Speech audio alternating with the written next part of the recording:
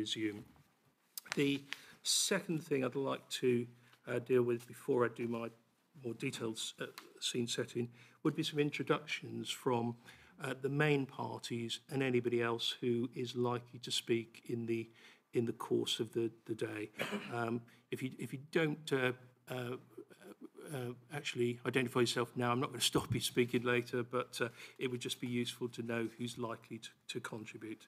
So I'm going to turn to the applicants team first and uh, ask them to introduce themselves.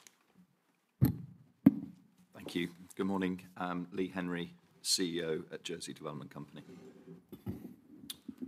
Thank you, sir. Good morning. I'm John Nicholson from MS Planning, uh, representing the applicant. Thank you. Uh, is it just the two of you? It is. Oh, if we come on to uh, other housekeeping matters briefly, um, we have been struck down by the fog. Right. Uh, So we have a Okay. decimated team. The uh, Delta um, assistance has uh, got everyone uh, online, and they will be joining uh, by teams uh, as per the um, parties identified on the uh, programme. talk- Thank you. We'll talk a bit more on that. soon. Uh, to the planning authority. Good morning. Um, Representing the Planning Authority will be myself, Wendy Johnston, the case officer for the application. Um, Also with support from, sorry, uh, I'll just, speak, Chris Jones, Senior Planning Officer. Um, We also have here um, Alistair Coates, who was um, involved with the drafting of the Southwestern Helia Framework Supplementary Planning Guidance, and later on Tracy Ingle, who will be dealing with townscape and visual impact and heritage. Okay, thank you. And to others, is there anybody who knows they're going to speak uh, on some of the matters later? Yes. Mr Young? Uh, yes, John Young. Um, I used to be, for my sins, used to be the minister, uh, and I've had a long-term interest in planning matters. Obviously, as a citizen of 45 years in Jersey, I think it's such a huge issue for the community. So I'm here in my personal capacity. So uh, hopefully, uh, you know, I did order the inquiry, but it was the new minister that decided on the whole setup. I had Understand. No involvement in your appointment, which I think that makes, uh, I've got every confidence that the inquiry. will be Thank you. done. Okay, thank you, Mr Young. Anybody else who, who's, So we have witnesses for the uh, later sessions. Um, Some of them are in the room. ah, room. right, yes. Do, do you want to, to run through those? Hi, so if you want to speak. Look, my name is John Fielding, I'm from Heter Architects, I'm part of the Master Plan Vision Framework team. Um, We'll be talking about the architectural design codes and the architectural uh, part of that alongside. Okay, Uh, Good morning, I'm Mike Waddington, local architect, also working with HETA and uh, the Gillespie's JDC team, and I'll also be talking about, about design-related matters. sorry, I missed your surname? Uh, Waddington. Roddington, okay.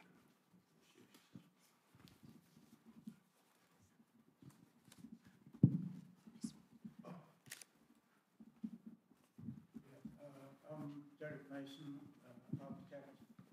Uh, uh, My name's Derek Mason, architect in Jersey for the last 50 years, believe it or not.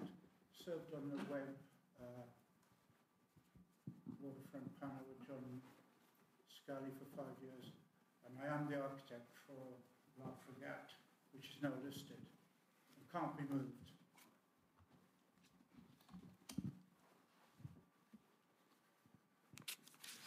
So if I might uh, just revert to the uh, other two, uh, the other two witnesses. Um, We have on the Teams link, uh, checked with uh, Delta, and he he is there. Uh, Patrick Conn uh, from uh, Gillespie's. Uh, We are just waiting for uh, Sarah Gibson, uh, also of uh, Gillespie's, to join the, uh, the link, which she has tested, so it should be fine. Okay, Confident with that. okay, Patrick is on the screen, uh, back of the room. Thank you. okay, thank you. Okay, that's all the introductions. I think there is an attendance list uh, somewhere on the, uh, it would be useful just, just to have a record of uh, everybody attending. Okay, well, let, let me just do some more detailed scene setting and just explain how uh, the, the inquiry will, will operate. Now, last month, a number of uh, participants here uh, attended a pre-inquiry meeting with me, which was uh, a, a very useful session because it enabled us to uh, take stock of uh, the impending inquiry and take some soundings in terms of witness numbers, uh, and that then enabled the programme officer and myself to put together a programme which we, we issued in draft to the, the, the, main, the main parties, I'm referring to the applicant and the planning authority, and it was uh, further refined from that. Some of it was related to witness availability, uh, and uh, I think we've got uh, really everything uh, covered that, that should be. Um, I think um, it's important to just contextualise the inquiry week in terms of the job of work that I have for, for the Minister. At, at the end of this process, I have to produce a detailed report with recommendations on the planning application for, for the Minister. And instantly, the Minister has decided to form a, uh, a panel that will actually decide this rather than it just be uh, his decision alone. That, that uh, I think was confirmed late, late last week. But the inquiry week for me is it's a very important part, but it's part of a much longer process. I was appointed in January, uh, and since that point in time, my little office has been uh, overwhelmed with paperwork that, uh, that I've been, been working through, uh, paperwork and also the, the electronic files. So I have done a pretty good study of the application documents. Um, I have done a pretty good study of the statements of case uh, that have been, been made in respect of the, the, uh, the, the inquiry. And in recent weeks, I've been working through all of the proofs of evidence that have been submitted. So I come to the inquiry, I, must admit my brain is probably in a little bit of a jumble, but uh, I, I have, uh, if there is a document related to this application uh, or a, a representation, uh, it has passed in front of me. I have seen it and I, I have, uh, have uh, read it.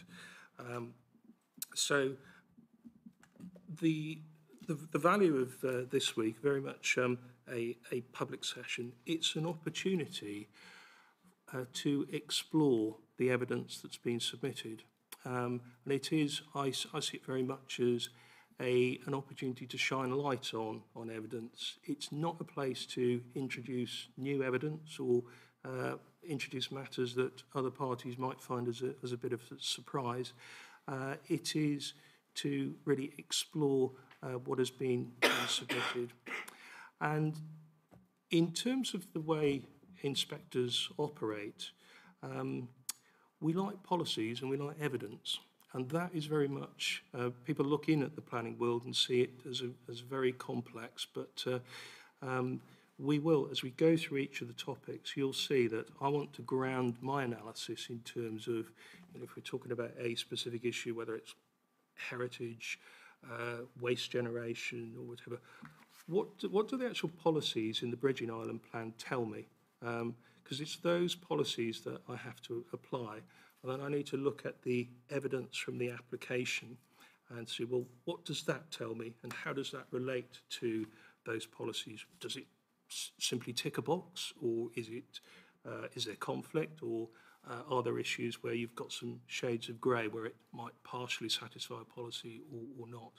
And in that process, I'm going to be very interested in the submissions of the planning authority and, and, and expert consultees. Uh, and it is through the inquiry sessions that I'm able to uh, explore uh, those, those, those topics. What I did say at the pre-inquiry meeting was that the number of witnesses and the scope of the range of issues that we need to cover in the course of a week is quite challenging. Um, there are a lot of witnesses, there are a lot of, lot of issues, um, and there's a, actually a huge number of policies in the Bridging Island Plan that are engaged in, in, in this application. Uh, it, um, uh, it, it, it does cover uh, a lot of policy areas. Um, so, as we go through uh, each of the sessions, um, what I want to ensure is that um, everybody that's participating, you really don't need, need to make long speeches to me, and you really do not need to read out uh, evidence that is already put in, in writing. It is very much about um, uh, cutting to the chase and highlighting the, the things that uh, you regard as important. I mean, in simple terms, particularly for, for the main parties and indeed the interested parties, your contribution should be telling me what I should write in my report to the Minister. You should be trying to persuade me that on whatever issue that we're talking about, this is what I should write to, to the Minister. Uh, I am evidence-led, um, and uh, that, that would be my steer to uh, each of you. Um, in terms of the formalities or, or otherwise, we agreed at the uh, pre-inquiry meeting that uh, this isn't going to be an inquiry which is based on barrister-style cross-examination of difficult questions and trying to lead witnesses up a, up a certain path to uh, uh, trip, trip them up. And uh, it, it's going to be much more inquisitorial. Um, and at times, it will go into uh, a, much less formal roundtable type discussion. And that will be particularly the case where I know that there's a fair bit of common ground between uh, the, uh, the main parties. Um, when we do get to uh, witness evidence sessions, there is an established running order in planning inquiries, and I'm going to stick to it most of the time. There will be some times where uh, we, we don't, uh, we, we can depart from it to, to save time. And the usual order, and I did set this out in a little note that accompanied the programme, uh, is that the applicant's team uh, gets to go first. So they, they will present uh, their evidence.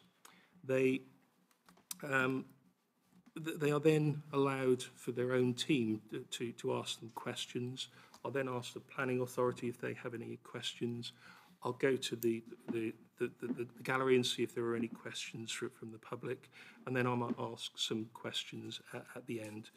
Um, and in, in, a, in a very formal setting, the applicant's team then gets a chance to ask some further questions of their witness. It's what's called re-examination.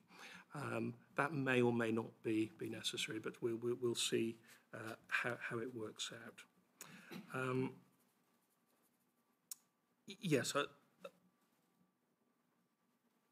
Yes, I, I mentioned, ju- ju- just make sure I cover all, all of this, that uh, there are going to be some sessions where I know, particularly through, uh, that there's been some statements of common ground that have been produced um, uh, that, that have appeared very recently.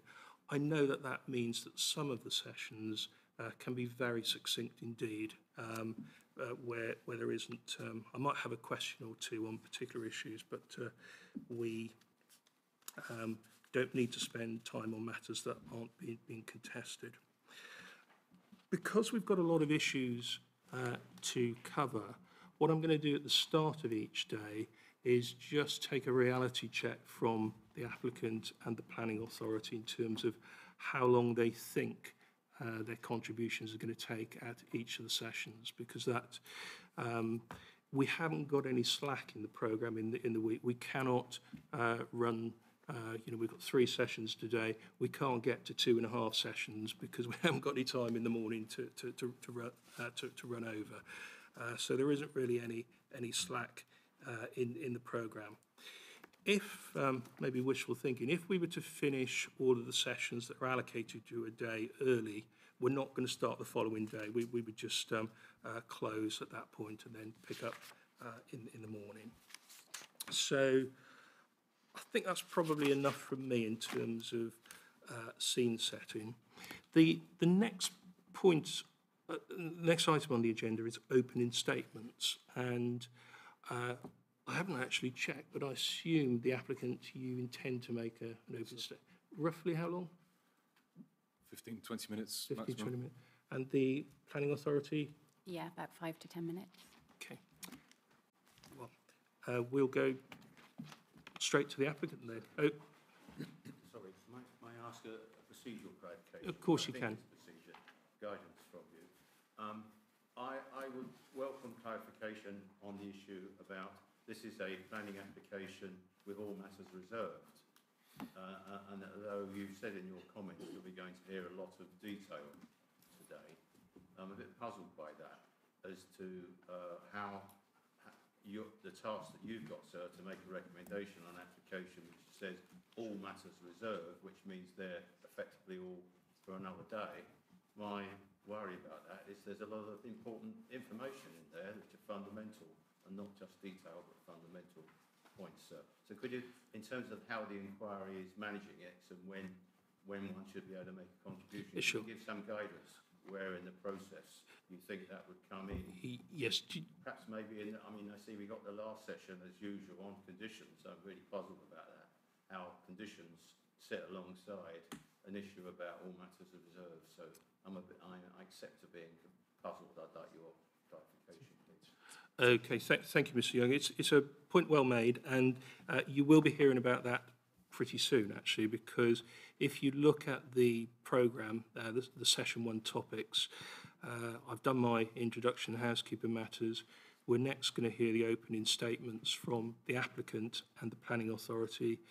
We're then going to uh, have a visual presentation, uh, digital model. Uh, it- it- that, that is organised, is it, Mr Nicholson? You The digital model is with the planning authority. Ah, right, okay. So, Um, yep. so we're going to have a quick run through. So uh, we, we can see what we're talking about in terms of the application as submitted. Um, and then I've got an item which talks about preliminary and procedural matters, including, discuss, the, including discussion on the all matters reserved outline application and the status of plans and documents. So right, you know, in this early session one, uh, I want to answer that point that you made because it's very important uh, what is being applied for. I have to advise the minister on that. What would be the effect of the planning permission? So we, we will pick that up very soon. Mr Nicholson, over to you. Uh, thank you, sir. Over to Mr Henry. Thank Oh, you. Mr Henry. Thank you. Um, Good morning. I'm delighted to be here today, um, which represents a key milestone in the development of the St Helier waterfront, which started in 1996. Over the last five years, JDC has been involved in establishing a new vision for the waterfront. Firstly, for, by providing input into the Environment Minister's new planning policy for the area that was adopted as SPG in December 19, and secondly, by developing and consulting on these outline proposals to visually respond to that new planning policy. JDC is 100% owned by the Government of Jersey. Is in effect the government's regeneration arm, carrying out major mixed-use projects, and we will be the developer for this particular project. The company supports and assists the Government of Jersey in delivering its strategic objectives and delivering outputs that are balanced socially, environmentally and financially. To date, JDC has delivered almost 400 residential units and two Grade A office buildings at the IFC Jersey. We are currently completing the final block of a major residential development on the waterfront and a third Grade A office building. We've delivered and maintained extensive areas of public realm, including Weighbridge Square, Trenton Square, Marina Gardens and Les Jardins de la Mer. And we also maintain the landscaping en route to Port Elizabeth. Placemaking is at our heart, and we're passionate about design and ensuring that the buildings and public realm that we deliver will stand the test of time. There's been a step change in the quality of developments on the waterfront since the establishment of JDC in 2012. The proposals presented respond to consultation feedback as well as providing for the needs of the island as set out by the government. The island has a need for 7,000 new homes by 2030. This demand is being created by the continuing trend for smaller household sizes and the requirement for inward migration to support the needs of the island as a result of the ageing population that's causing a reduction in the amount of working age people. The spatial strategy for the island, as restated in the current Bridging Island Plan, is to focus these new developments within existing built-up areas. And from a transport, infrastructure and environmental perspective, this waterfront area provides a natural extension to the town and provides the island with a release valve that will reduce pressure for greenfield rezoning. Islanders who participate in the consultation process identified the need for new residential accommodation and that the waterfront could provide for such use. However, they also wanted the area to be landscape-led and for the waterfront to be a destination for islanders and.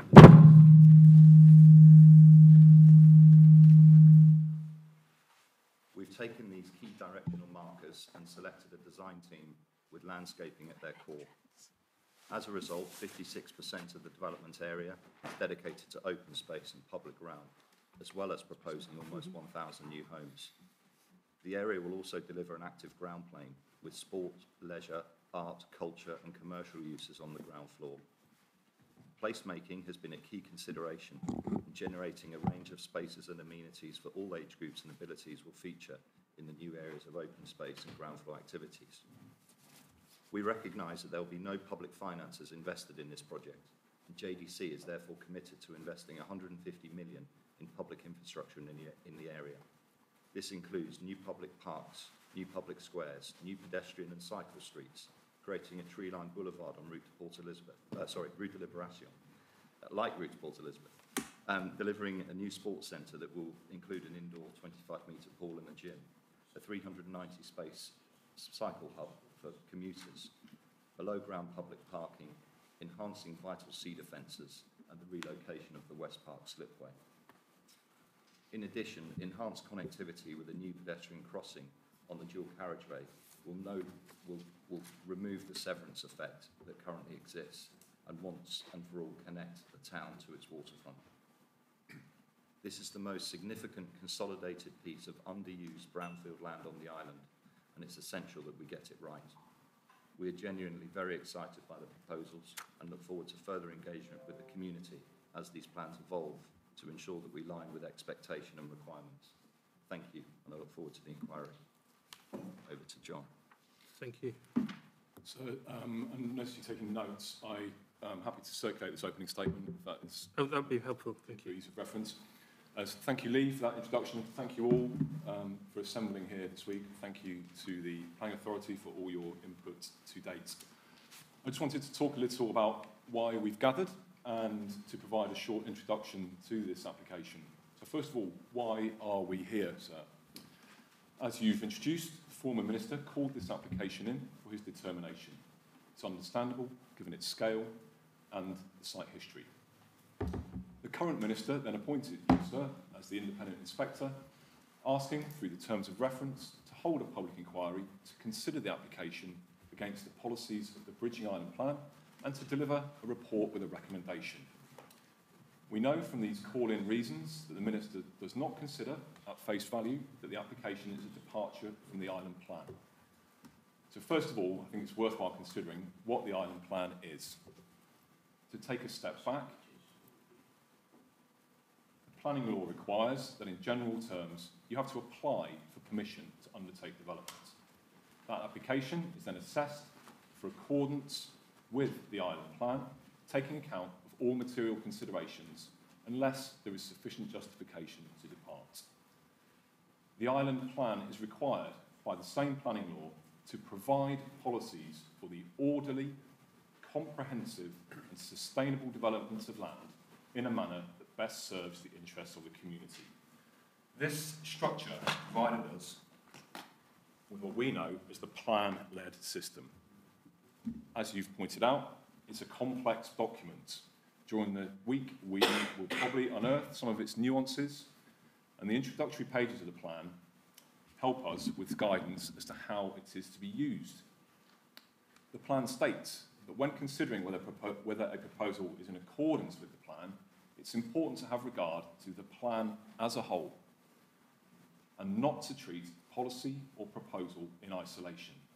It's likely that several policies will be relevant to any development proposals. Some policies can seemingly pull in different directions. This is not a flaw in the system, but simply a product of a complex and wide-ranging plan and a reflection of the natural tensions that arise in seeking to meet the community's economic, social and environmental objectives. It's for the, the, it is for the decision maker to carefully balance the planning merits of a proposal with the policy requirements of the plan. That is uh, taken from the introduction and sets the scene well, sir. The, the Island Plan then contains a series of strategic policies. These provide high-level guidance on key issues and overall objectives. They include directing growth to areas of previously developed land or locations that minimise the need to travel by the private car. It sets a spatial strategy that confirms development is to be concentrated in the built-up area, particularly the urban centre of town. It requires that developers make efficient use of land and optimise the density of development. As part of this spatial strategy, this will reduce pressures for greenfield land release, protect the character of our countryside areas. Improvements are sought to active travel, promoting sustainable transport as part of a desire for meaningful and long-term reductions in carbon emissions, alongside supporting proposals which provide resilience to, to the impacts of climate change, such as flood risk. It asks for the delivery of environments where people will want to live, with high-quality open spaces, facilities and services that create environments where communities will flourish. Alongside delivering a sustainable economy, protecting our historic and natural environment, the plan is quite clear that it must serve the interests of the community. Expressly set out and central to this is ensuring that everyone has a safe and secure place they can call home. To quote, in the creation of strong, healthy and sustainable communities, this primary need must be fulfilled. This aligns throughout government strategic policy and ministerial objectives. When we delve deeper, it is clear we have a very serious issue with housing. The Island Plan requires that rates of delivery should be doubled from the averages achieved over the last 10 years. We have dramatically failed to deliver sufficient homes to meet our community needs. Rather than double the rates, in recent years, the rates of permissions being granted are actually slowing. One of the background documents to the Island Plan, helping to set its strategic objectives, is the Urban Character Appraisal Review. This acknowledges the development dilemma. How do we deliver the complexities of meeting housing demands focused on St Helier, alongside the problems with a limited supply of sites and the high value we place on the character and sensitivities of town? The new waterfront is considered by this character appraisal to have a low sensitivity to change. It is specifically considered to act as a safety valve for development, with an emerging character that is positive and supports good placemaking. It's acknowledged in the character appraisal that there is a development dilemma. The downside of delivering these needs is the potential for impacting on, for example, the setting of listed buildings. Even so, this guidance advocates a massing of up to eight stories throughout the new waterfront area, ranging from Gloucester Street all the way down to Elizabeth Harbour. This is specifically carried forward into the plan, aligning with the strategic policy objectives. The Minister has indeed provided further guidance in the form of the South West St Helier Planning Framework. This is adopted SPG and acknowledges there were problems with previous guidance and master plans it sets a loose framework with a series of community expectations across key opportunity sites. It advocates for ongoing engagement with a clear desire for improved connectivity, enhanced open space, a vibrant mix of unit uses, high quality and sustainable architecture, and for maintaining key views. The scale of development is expected to be in keeping with that found in the local context. Buildings of up to seven floors are discussed, including reference to even taller buildings where justified, leaving the door open to significantly increased heights with, as it suggests, a single elegant landmark building of mixed use, having potential for this area. In this context, the Island Plan acknowledges that its policy framework will deliver the objectives of the new St Helier waterfront. It seeks to create a new quarter for town which has become better connected to the beaches and shoreline of St Aubin's Bay. It is within this matrix of clear support and policy promotion reflected in other material considerations and wider statements of government policy that the project team have consulted upon and produced the application that we are here to discuss. I've got a fly through, if uh, Delta wouldn't mind running that.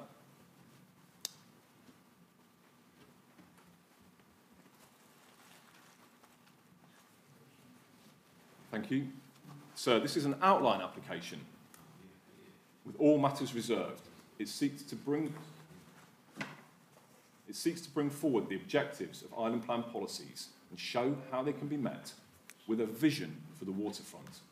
It is not a prescriptive master plan, neither is it a full and detailed proposal.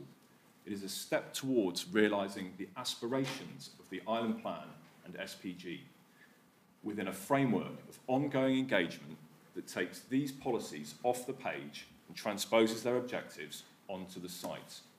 Delivery will be through a series of reserve matters applications on a phased basis, likely over a 12-year period. Existing buildings which have no inherent aesthetic value and present a visual barrier separating the town from the waterfront will be demolished. The phased new development comprises, as you introduced, 984 new homes in a mix of one, two and three bedroom homes with apartments and duplexes. There is new social infrastructure, there are new leisure facilities, new arts and cultural enterprises, and new local needs retailing coming together to create the desired vibrant new community. It's set within a network of car-free public and private open spaces and landscaping. It includes new office buildings to supplement the International Finance Centre. The high-level objectives, sir, are to connect with the Old Town. There is an at-grade crossing of the dual carriageway as part of a coherent space, uh, a coherent series of landscaped and human-scale spaces. It supports active travel by making the most efficient and effective use of land in a spatially appropriate location. It balances modest levels of car parking with excellent cycle provision and excellent new public footpath links. It helps to deliver long-term climate resilience. If you could play that again, please, uh, Delta. It adds up to 1.5 metres to the seawall, infills around the current slipway, and this is re-provided to the west. This benefits the site and the wider St Helier businesses and residents in accordance with the Government of Jersey Shoreline Management Plan. This approach is supported by a full range of technical reports and an EIA with illustrative material such as this fly-through to convey the project aspirations within the framework of the four approval package. So there is a great deal of information that we will review during the course of this week. It's my opinion that this application is a positive and compelling package. It accords with the island plan and other material considerations, and it should be welcomed as an important step towards delivering the vision for the waterfront. I know, as you said, sir, you've already embedded yourself in the application material. We look forward to assisting you, answering any questions and providing clarifications. Sir, we sincerely hope that you'll present a positive recommendation to the Minister. Thank you. Thank you, Mr Nicholson. Um, over to the Planning Authority. Thank you. Good morning, Inspector. The South West St Helier waterfront application is of island-wide significance and the method for planning determination is best served by holding a public inquiry with an independent planning inspector. The Minister for the Environment envisages the inquiry will be an inclusive forum to ensure open discussion with all parties being able to present their opinions and have evidence tested prior to the inspector making a recommendation to the Minister. The desire for an open forum to understand, scrutinise and appraise the application comes through the Minister's terms of reference and your pre-inquiry note. The Southwest St Helier application site is in a highly sustainable location on the waterfront of St Helier, with policy support for a mixed-use development on the site recognised in the Bridging Island Plan and the Southwest St Helier Framework Supplementary Planning Guidance. The site is currently underutilised and in spatial terms the principle of a residential-led mixed-use scheme in this location is supported within the context of the strategic policy guidance.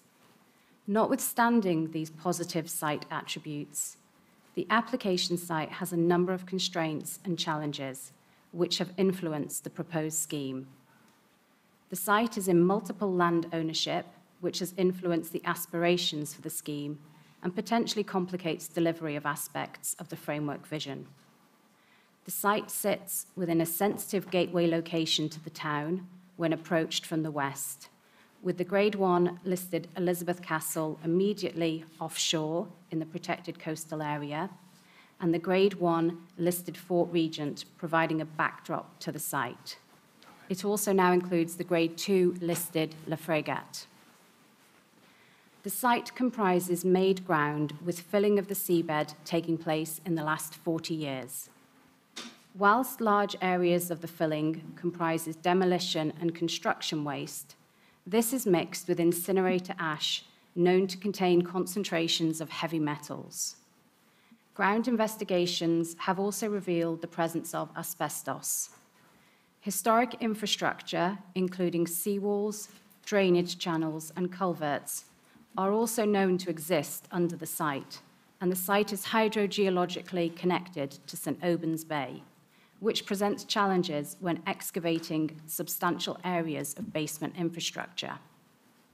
The site is also bisected by one of the busiest roads on the island, which presents challenges for connectivity with the town, and the application site hosts the only cinema in Jersey and the only public swimming pool in St. Helier. Since its original submission, the applicant has modified the scheme to address concerns and feedback raised, received from consultees, the community, and other key stakeholders.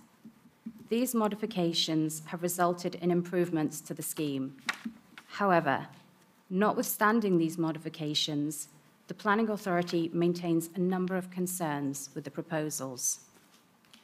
Our submissions to the inquiry cover planning policy, the historic environment, environmental health, landscape, townscape and visual impact, liquid and solid waste, ground conditions, flood risk, ecology, sustainability and transport, with the intention of assisting the inspector in reaching a clear and robust recommendation. Of particular note, the application is predicated on waste arising from the site being disposed of at the government facility at La Collette, which is the only contaminated waste facility in Jersey. This facility currently does not have the benefit of planning permission for the disposal of contaminated waste, including asbestos. A planning application which sought permission for the disposal of waste at La Collette was recently refused by Planning Committee, but ratification of this decision was delayed for six months. The operator has been given six months to submit two planning applications for consideration. One to seek retrospective permission for the contaminated landfill cells constructed to date. The second to seek permission for future disposal of contaminated and inert waste at La Collette until such time as other options for disposal can be identified. The La Collette facility has been allowed to remain open until the planning applications have been considered but with the understanding that the existing headland constructed to date cannot be added to, except for the requisite capping material. The applicant of the waterfront scheme makes the case for possible export of contaminated material off island. In this respect, contaminated material for export must be considered suitable for recovery only, not simply disposal. To date, it has not been demonstrated that this matter can be satisfactorily resolved. There are other areas of the scheme where the Bridging Island Plan is challenged. Impacts on heritage assets and the wider townscape of St Helier have not been managed or mitigated to an acceptable extent. The scale and massing of the built envelopes obscures important skylines, views, and vistas. The prior provision of alternative swimming pool and cinema, arrange- cinema arrangements remains unresolved, and to the extent that a solution is suggested, these alternative arrangements have not been consulted on or assessed as part of the application submission. Impacts on the St Helier retail core have now been assessed as part of a retail impact statement provided by the applicant during the week prior to the inquiry. Retail impact was identified by the authority as a matter of concern to be addressed as far back as June last year. The existing surface water sewerage infrastructure for parts of the scheme identified in the Government of Jersey's Drainage Impact Assessment as Surface Water Catchment 1, is insufficient to receive the proposed surface water flows. The application as submitted does not provide a solution to this issue, and general residential amenity impacts warrant further exploration. Notwithstanding the above concerns, we have issues of process, particularly in the way information in respect to the proposals have been drip-fed into our overall consideration, and I can use the example of the retail impact assessment. Sir, we hope this inquiry can properly explore the issues I have referred to and those additional issues which other parties and consultees may raise, so that the public, you as the inspector, and ultimately the minister as the decision maker are aware that there has been a robust assessment, putting the application through due scrutiny and leading to a clear recommendation. Thank you. Thank you, thank you. I- I've not been advised of anybody else wishing to make uh, an opening statement, but um, I'll just look around the room if anybody does. Mr McCarthy?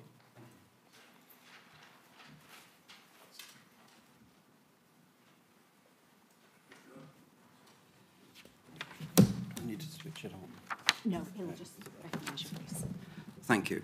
Um, it's a very sad day uh, today for me t- to come here um, because we should be really celebrating what was originally intended was homes for islanders we'd all be proud of. Um, on an 11 hectare site, you could easily build homes uh, as they have achieved through community uh, projects throughout the UK, um, over 1,000 new homes.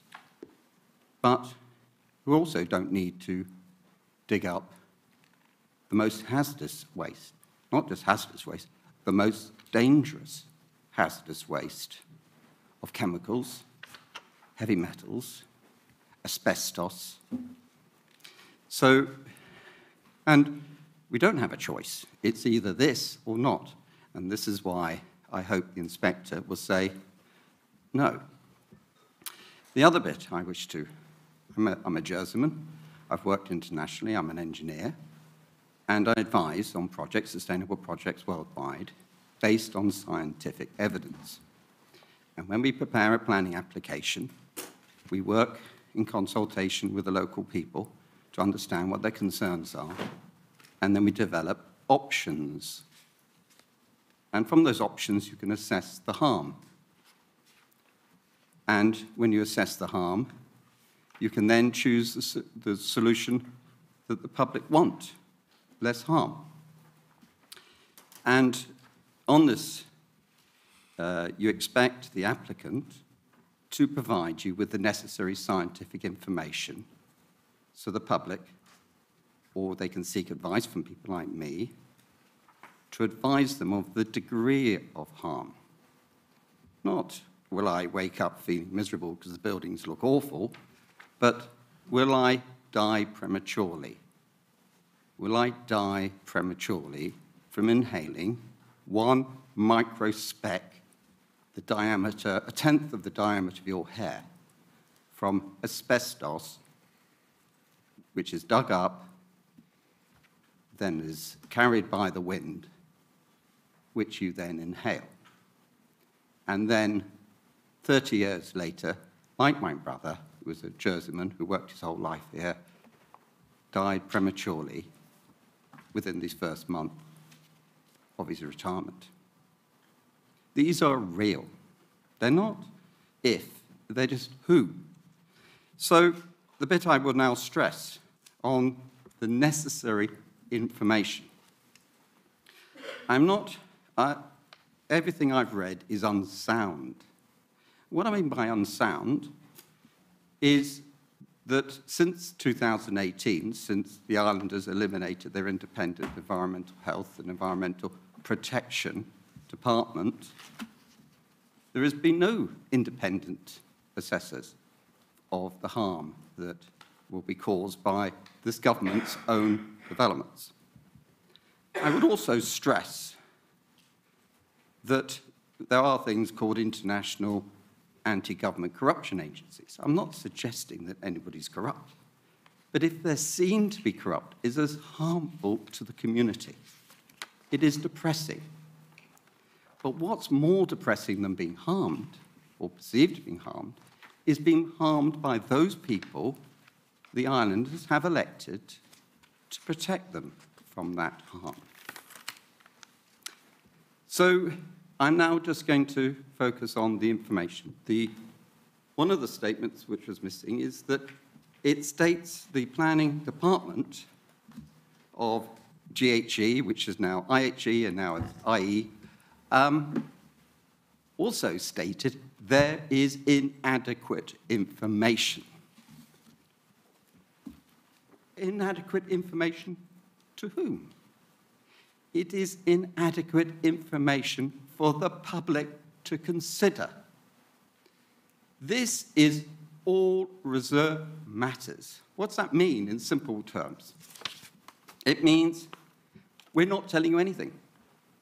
We just want to give you planning, and then later on we can work with the officers and get planning approval without any public consultation under delegated powers. And this is to circumvent the public's participation. And I see it here today in public participation, although people may be online, how disappointing it is to see this development is for 3,000 people. This is a new town. It is huge. And yet, the amount of people that have followed the process, there's only three people from the members of the public formally requested to, attend, formally, and there's only me that's provided evidence. So I will apologise from the start. You may hear me at every single topic, not because I want to, because nobody else has submitted any information. And I will stress, this is not going to be about me criticising the, the degree of the information, the correctness of the information.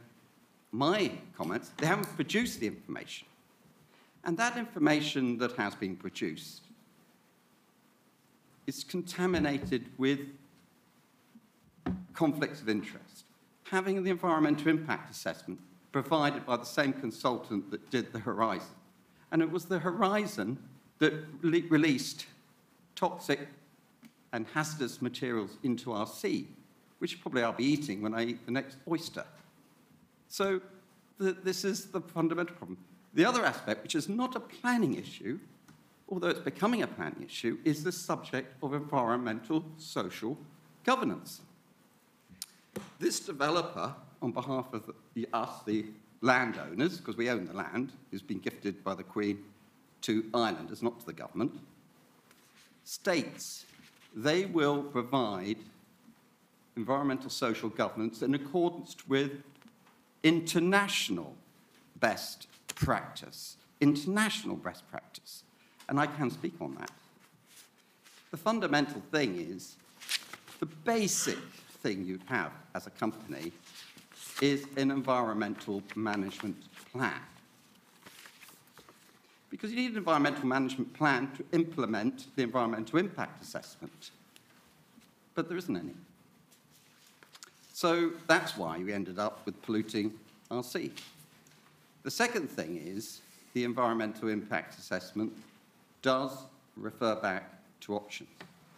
And what it does do earlier on is consult on the scoping of what do you want, Mr. Public, uh, Mrs. Public, what do you want all kids at school? What do you, what's your concerns? What do you want this environmental impact assessment to, con to consider?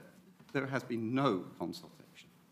So, the aspect of this planning application, when I can help islanders by comparing it to the UK, another fellow learned inspectors, when a planning inspector attends meetings like this, especially where the government are assessing their own planning applications, especially, they scrutinise it much more, especially with a developer that says they're working to the highest, highest social, uh, environmental social governance, which we depend upon, the whole finance industry is dependent upon that standard going forward, is that the environmental aspects that are missing from this development, I'm going to try and highlight.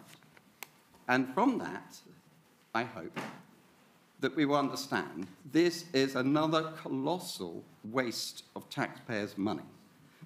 But what is crying shame, it's been stated we need these homes.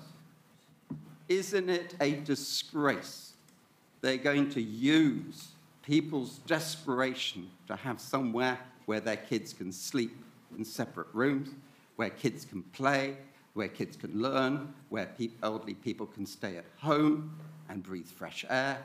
Isn't it a disgrace that a lot of this development doesn't provide any natural ventilation, doesn't provide any solar access, doesn't provide any interesting views apart from the person next door getting undressed? That interests. It doesn't provide tranquility. You can't open your window. Most of this development faces the main road. And I'll tell you now, you cannot open your window. You have to mechanically ventilate it, and you have to pay for that mechanical ventilation in your energy bill. And as far as talking about sustainability, which I'm sure we'll hear all from this developer, this is not a sustainable development. It's produced by a board of directors of accountants. It's just blocks. And as far as misrepresentation, I looked at the model and I asked people to be very wary what they're looking at. It does not show the balconies. Now, balconies are huge concrete slabs sticking outside the building. They take away daylight. And they, you're obviously cheek and gel to your neighbour. So watch that model because it's a misrepresentation of the application. And thank you for your time. Thank you, Ms McCarthy. Right. Um, okay, so we're next going to go to, So I wonder if there might be uh, a point of clarification on a couple of matters arising. Uh, In, in your hands, if, if you, you don't normally do that in opening statements. I mean, I'm sure you heard lots of things there you disagreed with. Um, two, two matters of fact. Um, go on then, try me. Uh, First of all, uh, EIA scoping report in response to Mr McCarthy, uh, scoping opinion uh, was sought uh, and no response was received from the planning authority. I'm aware of that. Uh, the second point is uh, the status of the application for the uh, extension of Black Hole Air. I believe, uh, op- open question, uh, happy for this to be clarified, I believe that is not refused. It is deferred for six months. There's no decision notice being issued. The case officer is here. So there is a live application. That's my understanding is, Yeah, resolution to refuse, which wasn't ra- ratified at no- the no subsequent, no decision notice has been issued. well, we will obviously Yeah. deal with that in some detail in session, whatever it is. Thursday, yeah. Dealing with. Uh, Ms McCarthy first then. What is important is, the, so we understand, the public agreed to fill in La Collette with inert, inert waste. I, I can eat it, that's what you mean by it. What has happened unlawfully, in Jersey law unlawfully, international law unlawfully, this developer has excavated, delivered, and dumped the most, a slag heap of hazardous waste, which they do not have a license to do, which is a two-year imprisonment. And it, uh, first of all, before you can get a license, you have to have, in accordance with Jersey law, a planning consent. So if you don't have a planning consent to build a hazardous slag heap, you don't have the license. And we need to focus on the license, because that is international Okay. law. Right, I don't want to have this discussion now because we have a session, session 12 on Thursday, uh, that uh, we will do this in some detail. So there were others indicating they wanted to say something. Um, Mr Young.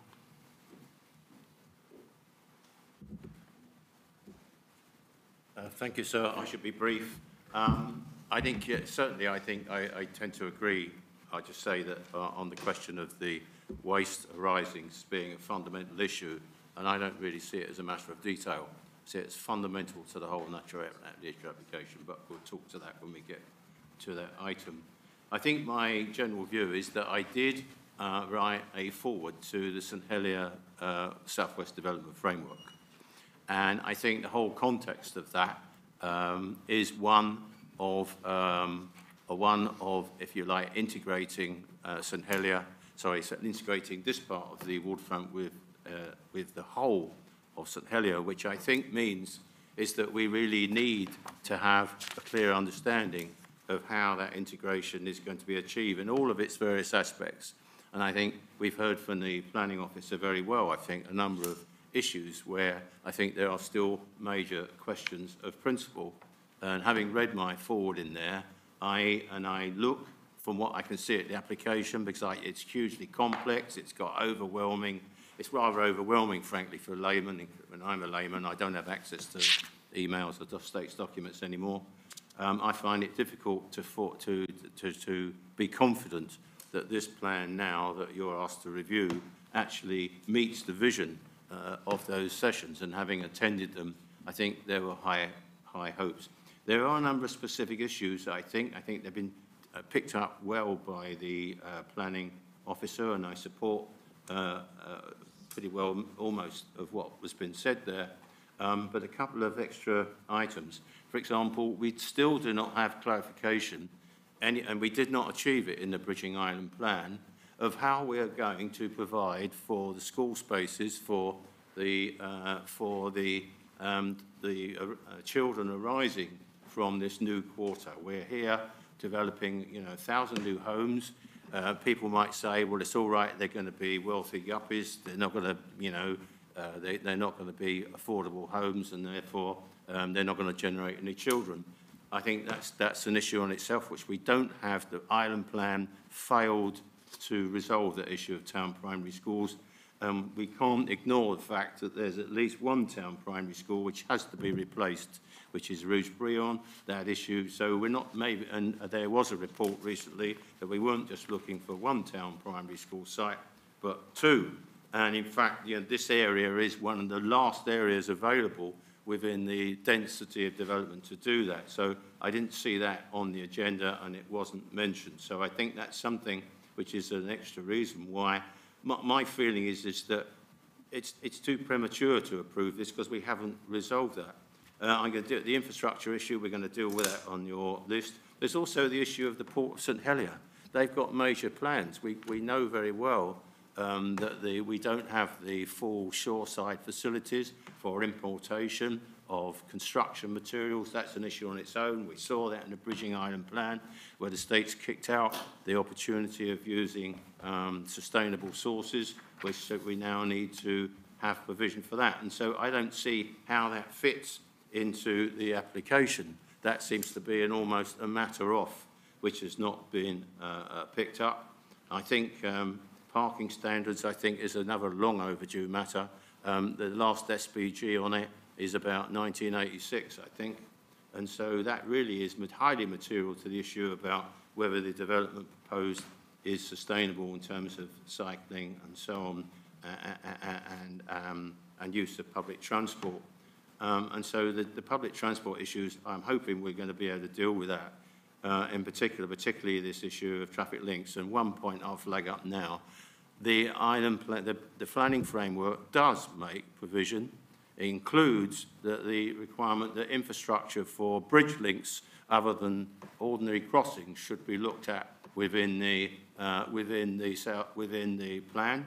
That's something that I insisted on and has always been, in my view, a possibility if uh, because of the doubt about whether that um, the, the measures to manage traffic are any good. So there's a whole host of issues which I think, I think were quite neatly encapsulated by the Constable St Helier when his proposition he put to the States to say that, um, that there should be a development plan for the whole of St Helier to help us link this particular area. My worry, I, I was disappointed that that was withdrawn because I think that was an important debate. It didn't happen.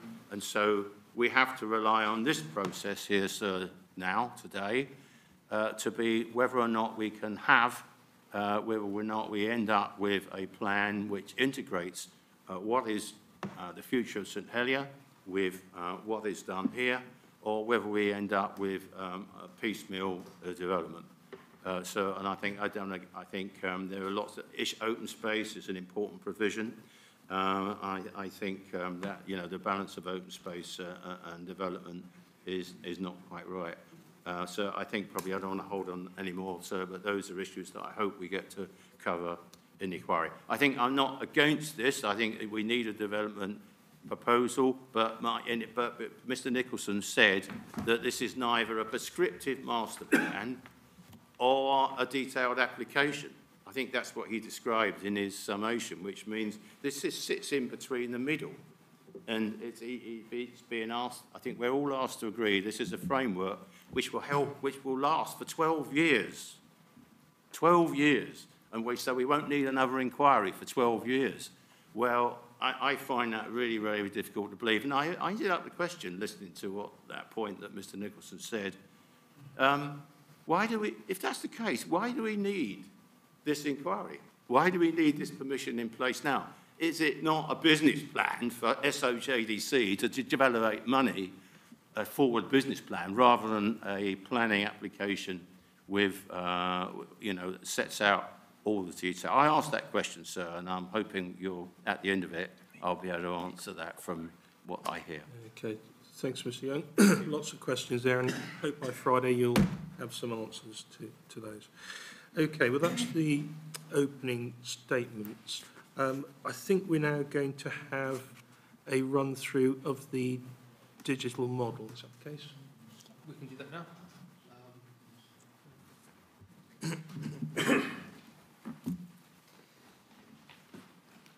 Right, yes, that's showing on the screen. Um, so just a couple of words. This is a 3D massing model um, showing the proposed development uh, in context. Um, it's not as detailed as the fly-through we saw earlier. Um, so it's really, this is just presented as a series of blank blocks, essentially. Um, we're able to toggle uh, back and forth between the existing situation and the proposed situation. And really, this is just a, um, a, a tool to enable um, user to sort of have a, a, viewpoint from any position where you, you, you would find it helpful to be able to look back to, to, to see the development in its context, um, either from either within the site or from um, further afield. It's quite a large model in terms of its site area. Um, we've actually extended the original model boundary um, to actually include, um, for example, Fort Regent, Elizabeth Castle, you can see there, and also parts of Victoria Avenue and the seafront heading west. It is quite a large model, so it's quite data hungry. so it, it may be um, a little bit slow and sort of juddery at times with a, low frame rate. But really, it's there as a, a tool um, to sort of enable us to uh, position the, the viewpoint from anywhere. Um, you know, I can just sort of fly it around generally, or it might be perhaps useful at other sessions to be able to drop in at particular viewpoints, or if there's any particular concerns. Could, could you take us um, sort of the, the journey from the town centre, as if we were walking from the town Yeah. centre over towards Aquasplash and So I can, in a second, I can lower us down uh, into the head height.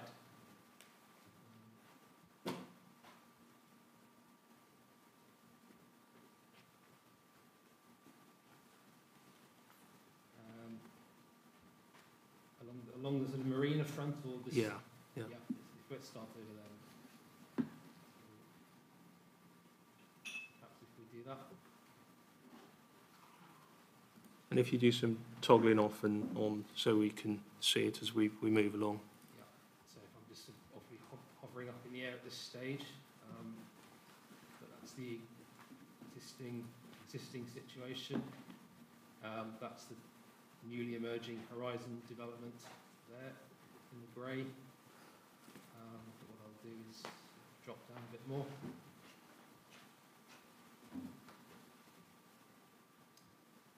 So, proceeding along uh, past Liberation Wharf.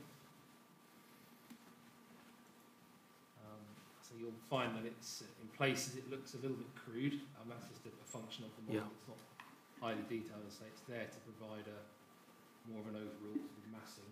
Um, So we'll go along towards the top of the underpass.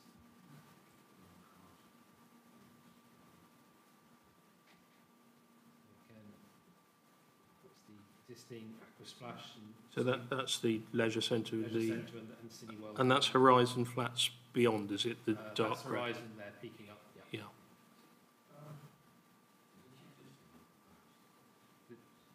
That's existing, and then that's proposed. Um, just, just to be clear, what we're actually seeing here, this is the maximum parameters. Correct. I believe so, Yeah. yes. Yeah. So, um, so again, let's, let's go back and forth. So these, again, these are the uh, newly emerging um, development at the IFC Finance Centre.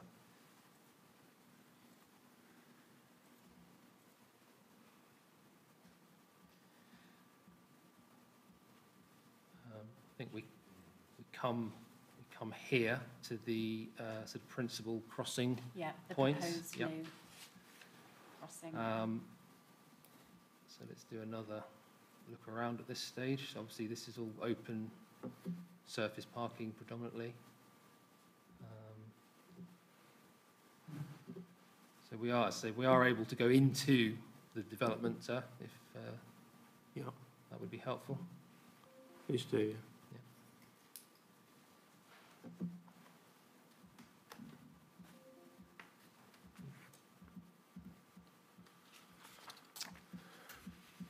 Apologies. A little bit fiddly. Uh, like Wendy can perhaps describe where we are, if you, are you able to, So we've just gone through Central oh, can I get down there? Square. And we're now moving, this is between block D1 and A1. Yeah, it's perhaps a little bit unclear because there isn't any detail applied to these textures It's within. very blocky, isn't it? It's very blocking, you can't always perceive, you can see shadows, um, but you're not always perceiving the sort of individual buildings. Um, Perhaps if I just sort of pop up into the air, we can have a look down.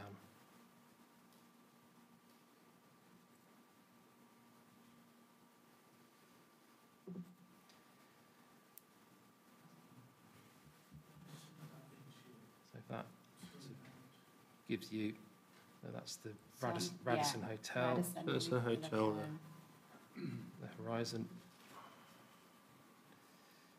Yep, so we sort of really, we were there in the central street, um, effectively. Um,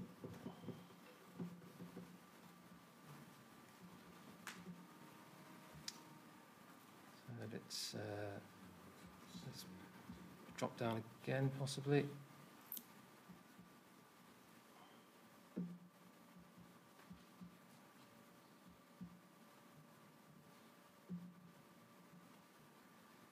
Um, Perhaps if I just take us out towards the uh, Jardins de la Mer Yeah, Gardens. I'll stay hovering in the air slightly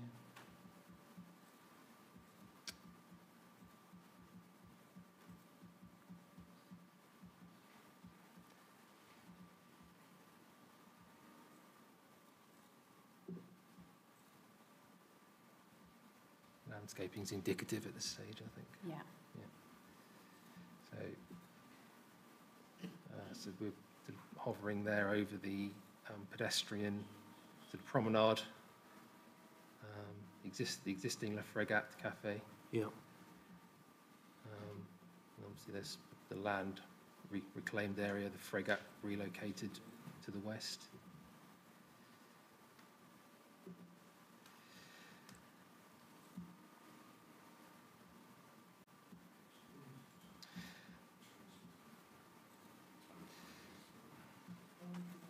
So, in your hands, sir, really, if that was helpful. Or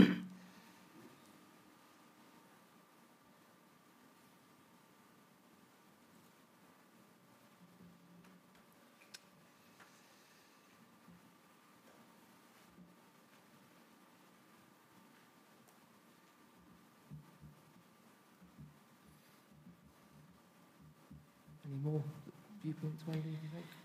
Do you want to look from any of the viewpoints Well, from I Fort think- Regent or Elizabeth Castle or any of those other? That, that would be, it'd be help, we'll have access to this later on, where we, um, Yeah. but I I think it'll be more relevant then, but you, Yeah.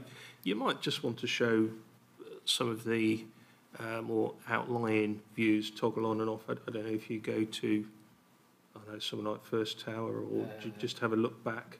Yep. Um,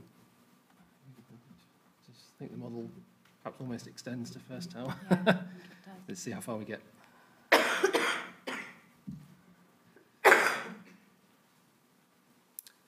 So, West Park, Just, a- anyway, which will give you a look back, so you can see so this is the, the, That's what I'm looking the the change in the townscape. Yeah. Um, it's probably more helpful to come down to the, the view that. Yeah. people are actually going to see, I think. Um,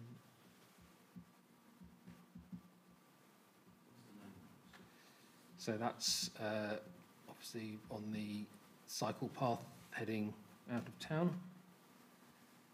So that's existing.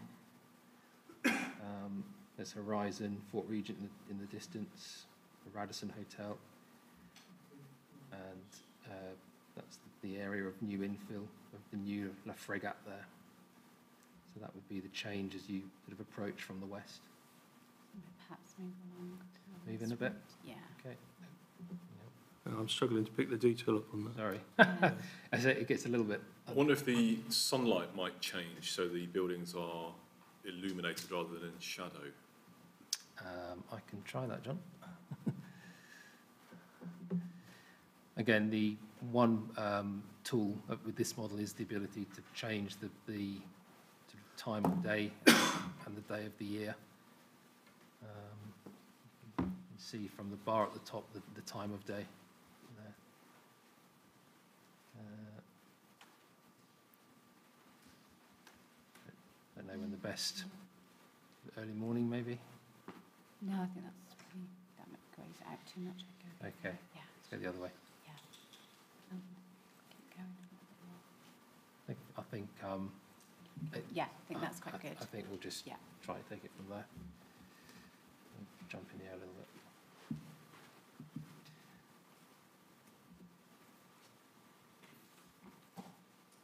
Drop down and go on to uh, Victoria on the cycleway. Onto the cycle route. Yeah. Obviously, this is where it now, now starts to change as we approach West Park.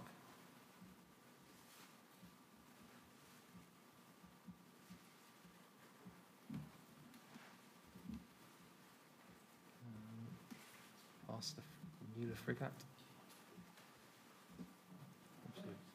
Okay, well, I, m- maybe we'll pick it up in more detail in the, Absolutely, I think it's there, as somebody wants to know, can we see it from Fort Regent? yes, absolutely. We're able to Yeah. do that. And we'll pick it up in session two and three uh, later on today. Okay, we have the lights back on. Um, For those looking, although it, it is a bit clunky and blocky, it is quite a useful tool. It's um, that UK authorities don't have this, this sort of uh, level of technology, and uh, uh, it is it is quite quite useful, particularly when we're, we're talking about views. And this afternoon we'll, we'll talk about views from Elizabeth Castle, views from um, Fort, Fort Regent, and we'll be able to locate ourselves in those positions and, and have a look back and see what that does to, to, to the view. Um, okay, right. Um, now we've got um, next item, um, a little bit messy, but it's preliminary and procedural issues.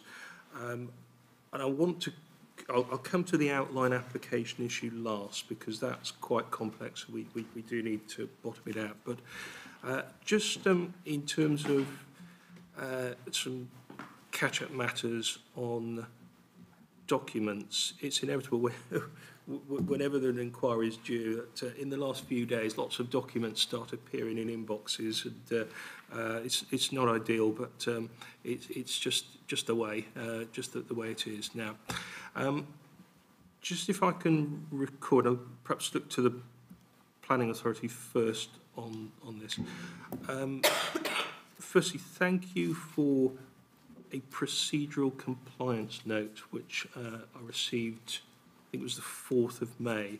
that just sets out so that, uh, so I can confirm to the, to the Minister that all of the administrative advertisement and consultation processes have been, been carried out.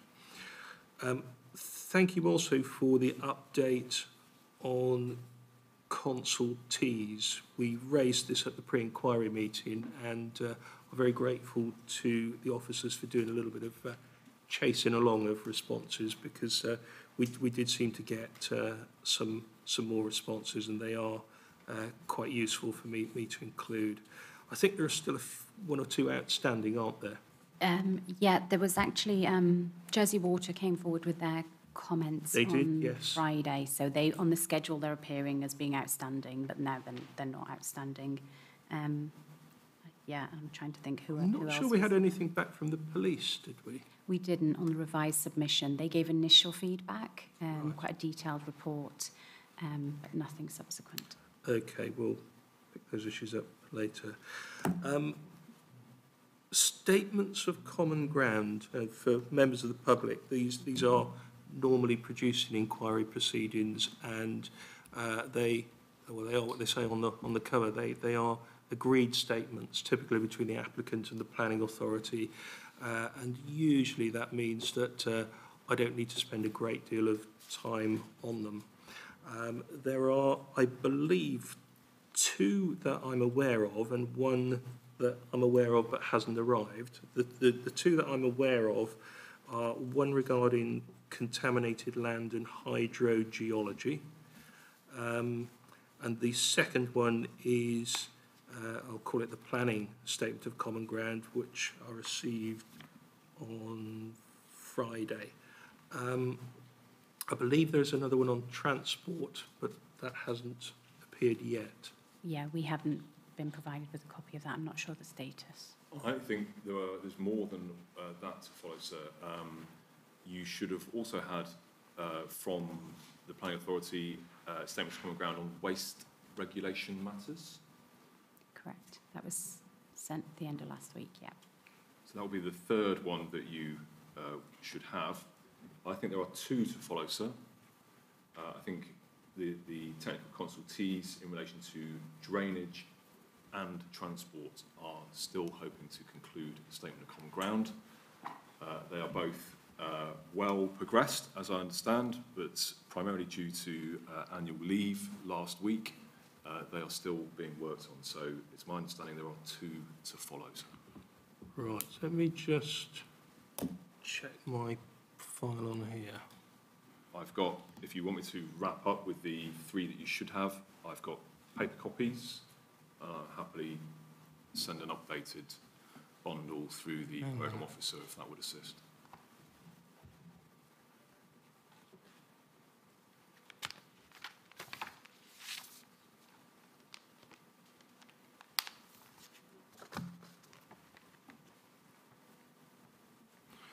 I haven't got the one on that you mentioned on waste, but I've got a feeling I read it. Uh, I've got Um, a copy here if it I've would. got, yeah, I've got copies as well. We can, Right. I- I'll, if, for ease of reference and for the record, I can package uh, those three up straight to the programme officer if that would That would be useful. That would be be useful. straightforward. Thank you. Yeah, do that in the break. Okay. Well, I'll make sure I get to them before the relevant sessions. Okay. Um, so, j- j- just make sure I've got my notes right there, Mr. Nicholson. You, you think there are five statements of common ground. Uh, planning submitted, contaminated land and hydrogeology submitted, waste submitted, Correct, drainage and transport awaited. correct, sir. Okay, that's clear.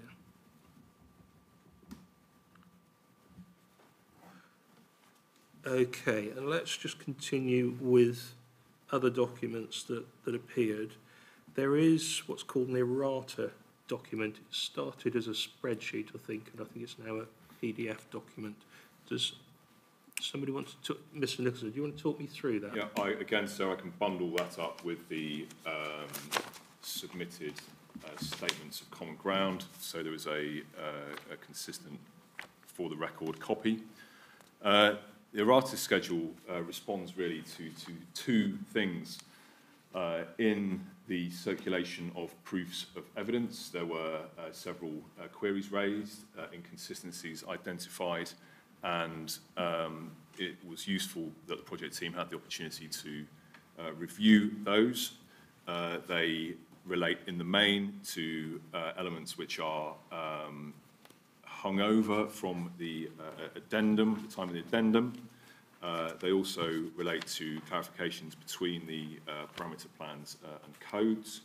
We have those uh, set out in a manner which I hope is the most straightforward, identifying uh, the, the relevant document or the relevant drawing and the page and section um, rather than provide a complete further bundle of all the documents, we um, believe the errata schedule provides the, necess- the necessary uh, clarification.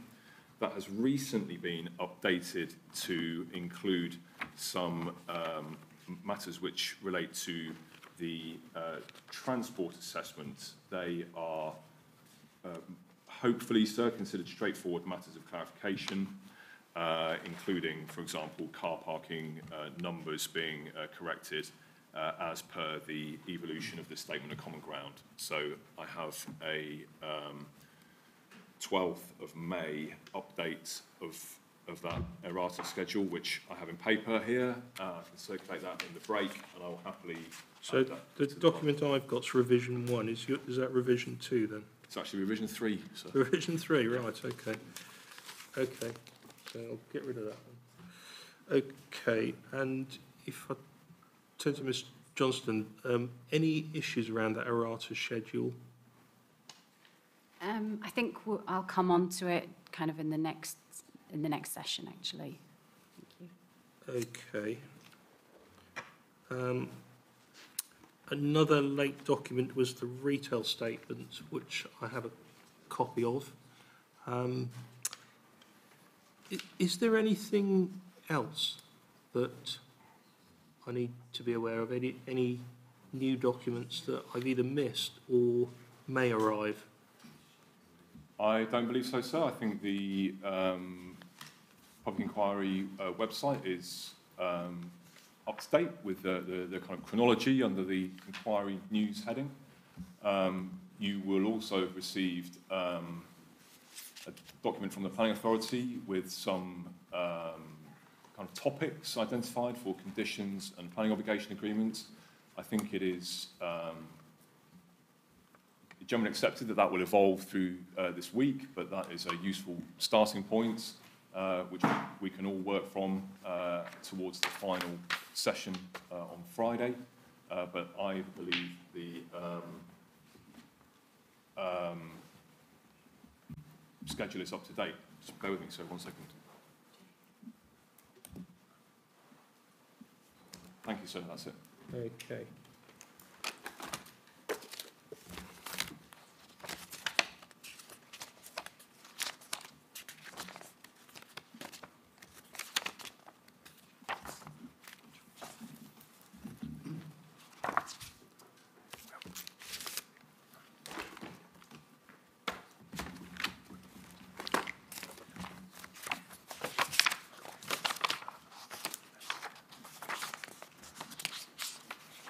With me a second.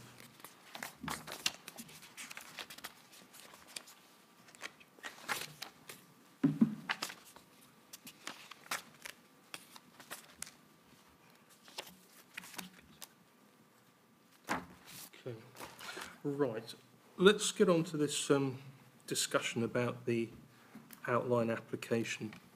Now, one of the things I'm going to need to do uh, at the front end of my report to the Minister is to clarify um, what the application is for and what the status of various plans and documents means. And you've already heard um, a number of comments on this, this very subject.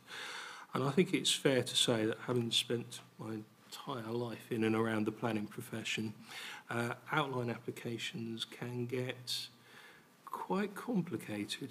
Um, and there are a, a lot of confusion can arise when uh, people are unclear about what uh, is being applied for and the status of various documents. Now, the law is quite clear on this, that the outline planning permission, that is the permission. That is the permission. So what, what is granted at that stage, that, that, that is what the minister is being asked to permit it. But it's never quite that simple. Um, but you do need to start, first of all, with the development description. The development description and the, the application form. And the development description starts with the words outline application and then in brackets with all matters reserved. And then I won't read out the development description, but it's, it, it's there and it talks about the number of dwellings and so on and so, forth. And on the application form, which was originally submitted, there are no ticks against those matters that would be reserved. Um, and, and those matters are scale and mass, siting, means of access, external appearance and materials, uh, landscape.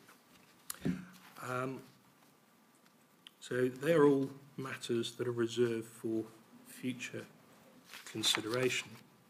But matters get complicated when you're dealing with what's called scheduled development, where the environmental impact assessment kicks in, because there was, well, UK case law basically saying you cannot conduct an environmental assessment on the basis of a, uh, some of us are old enough to remember out, outline applications which were based on a red line on a piece of ordnance survey sheet for to build 500 houses or, or whatever. The world's moved on, and that case law tells you that you need to have some basis to undertake the environmental assessment of. And for, there were a few people uh, that were present in the first hospital inquiry that I, I conducted, and we all heard about Rochdale envelopes and, uh, and, and, and the like, and uh, uh, the various case law re relating to that. And that introduced the concept of whilst you don't need to unreserve all those, you don't need to put a full application forward, you have to have the, the basis um, of effectively what's often called parameters. Uh, what are the maximum parameters of the development that uh, is is being applied for? Uh, and I think somewhere in one of your submissions, Mr. Nicholson, you uh, you you do explain this and you talk about assessing the worst case scenario in that it won't be any higher or, or, or any any uh, uh, bigger than uh, as shown on the parameters plan. I think the problem then arises in that with this application, despite that development description, which tells you it's an outline application with all matters reserved and the form confirming that, um, there's a huge amount of detail in the design and access statement, uh, the parameters planned, uh, and the, uh, the plot guides uh, and the design codes. And I have to admit, I'm left scratching my head just thinking uh, of the uh, four approval plans, which includes the parameters plans but doesn't include the master plans. Um, I'm just a little bit confused about their status in the whole scheme of things. Um, and I'm going to ask the applicant and the planning authority to just give me their views. And it may result in a bit of homework for them at the, at the end of it to uh, explain to me in a note uh, what they think the status of, of the plans is. I, I think there, there is, in the Statement of Common Ground, which I only just um, uh, skimmed through, I think there's a brief reference to it where you're agreeing that uh, uh, certain uh, plans and documents would be approved. But uh, I'll, I'll let you uh, explain that. So if I go to Mr Nicholson first, can, can you help me in terms of, and be, be steered by what I was saying earlier about, tell me what I should be advising the Minister on, on this point. and you've heard some of the, uh, the, the uncertainty views from the uh, fr from contributors this morning. What, what am I to tell the Minister? Uh, so I think the uh, volume of information and the, the manner in which it arrives on the uh, planning portal is uh, part of the uh, issue here. uh, we have a, um, a consistent position expressed throughout the material as to what is um, for approval and what is illustrative. So I think you're uh, exactly right, sir, in the form of the introduction that you gave. Uh, this is an, an outline application. All matters are reserved. It is supported by uh, maximum parameters. Uh, and it comes with uh, design code as guidance for future designers, the public and future decision makers. Uh, that is a legitimate form uh, of planning application which enables the broad acceptability of the proposal to be assessed in planning terms. If I can um, set out uh, exactly uh, our position when the uh, application was uh, uh, updated, it came in with a, uh, a document issue sheet, and that confirmed the parameter plans. They are all updated on the planning register. And if I could, you know, for example, take you to this table which is in the design codes document, it, it, breaks, it breaks down uh, the core documents, it lists uh, the parameter plans, Sorry, where, where do I find that? uh, well, this is just the example that has come to hand, sir. It's the, uh, this is the for approval design codes with the 15th of December. Yep. I'm looking at page 11 of that, and that explains the structure of the application.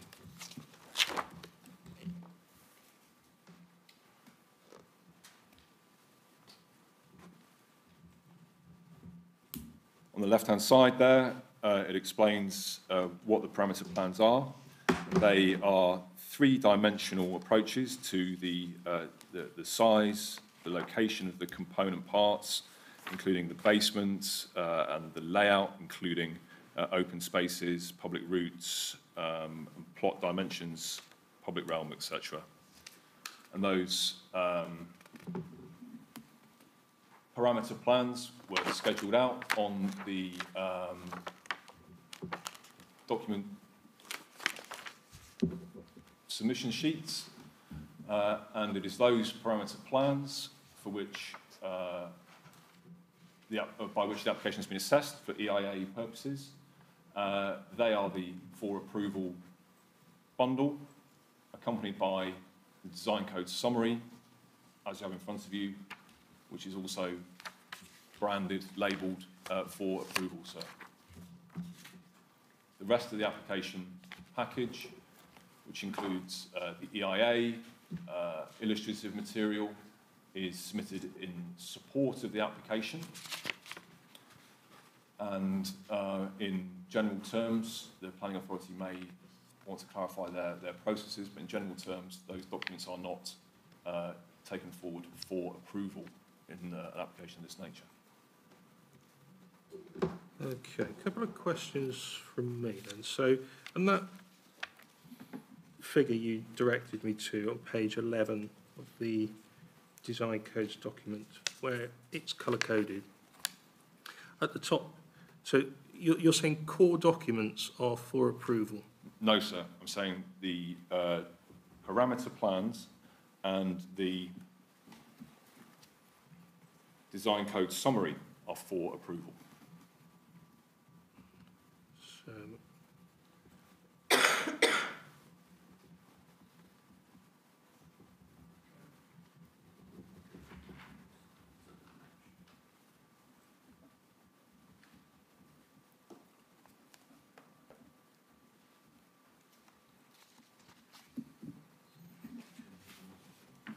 The design code summary, what's, the, the summary document is,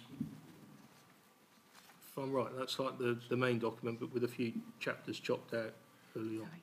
Um, well, I can explain the, the rationale for that. The uh, planning authority, uh, through a kind of number of pre-application meetings, um, were uh, conscious of the desire to maintain flexibility and not to uh, deliver uh, a constrained hand for future uh, architects and to leave uh, matters uh, loose, for want of a better word, for future reserve matters applications. That, that led to the, the, the stripping down, the editing of the design code document into the, the summary which is submitted for approval. Okay. Okay, well, within the parameters plans, there is this document, it's called plot dimensions and edges.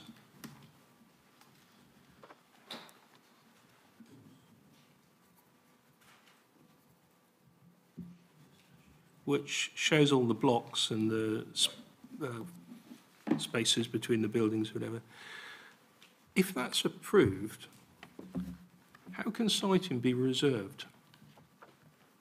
Uh, so that, that shows the maximum extent of those um, plot extents and edges. So if, if siting was a fixed matter, then siting would be fixed. Uh, this is a, um, a document which provides the maximum extent of the plot dimensions in, or in all three dimensions, vertically and horizontally. But I'm just trying to test the, so if, if this document ends up being approved by the minister, This drawing. th- yes, this, Yeah. this drawing, the um, plot dimensions and, and edges.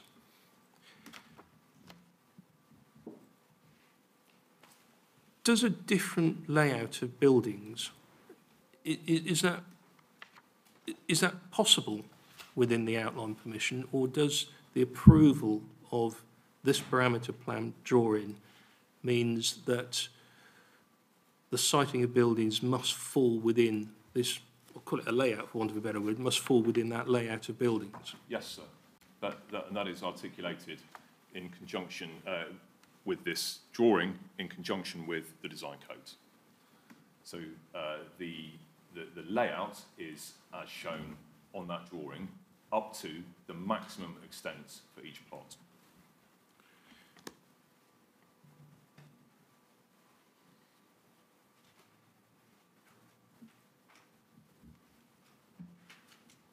Okay, um, we'll just hang that thought in the air for a moment, and then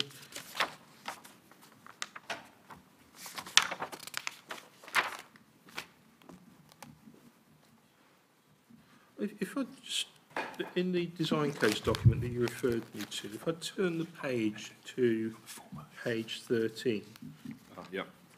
it says, design codes provide mandatory codes in brackets instructions and advisory codes in brackets guidance. And it goes on to say, mandatory codes are key design rules which should be followed when designing buildings and spaces. And he says, unless there are satisfactory reasons for not doing so. It all feels a bit imprecise to me. So, what does that mean? Um, it, it should follow the, the rules, um, un, unless what?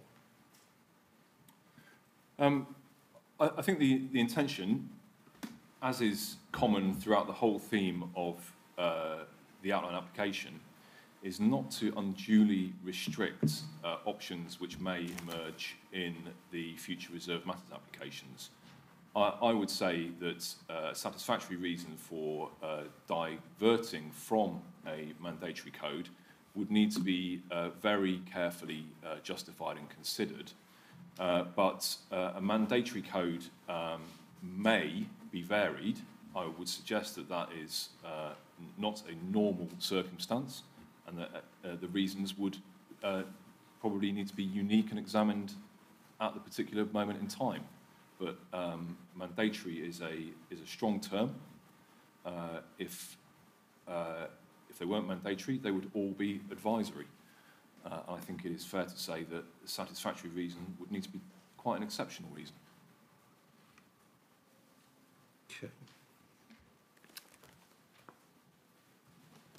We turn to the planning authority. Um, Mr Johnston, what are your thoughts? We have struggled um, with the, the two key areas for determination, the parameter plans and the design codes for approval. Um, As outlined in, in my proof, there are discrepancies between the two, um, quite significant discrepancies, things like the plot, like the dimensions, the maximum horizontal extent of the built form do not correspond between the design codes and the parameter plan which deals with that. The schedule of errata seeks to kind of, well, acknowledges that and says that perhaps they're measuring different things, but I'm, I'm not convinced of that. Um, but it also doesn't identify every, all of the discrepancies just in that single respect, so it doesn't capture everything. And it makes a difficult situation in terms of knowing what is being, if permission is granted, um, which takes precedent.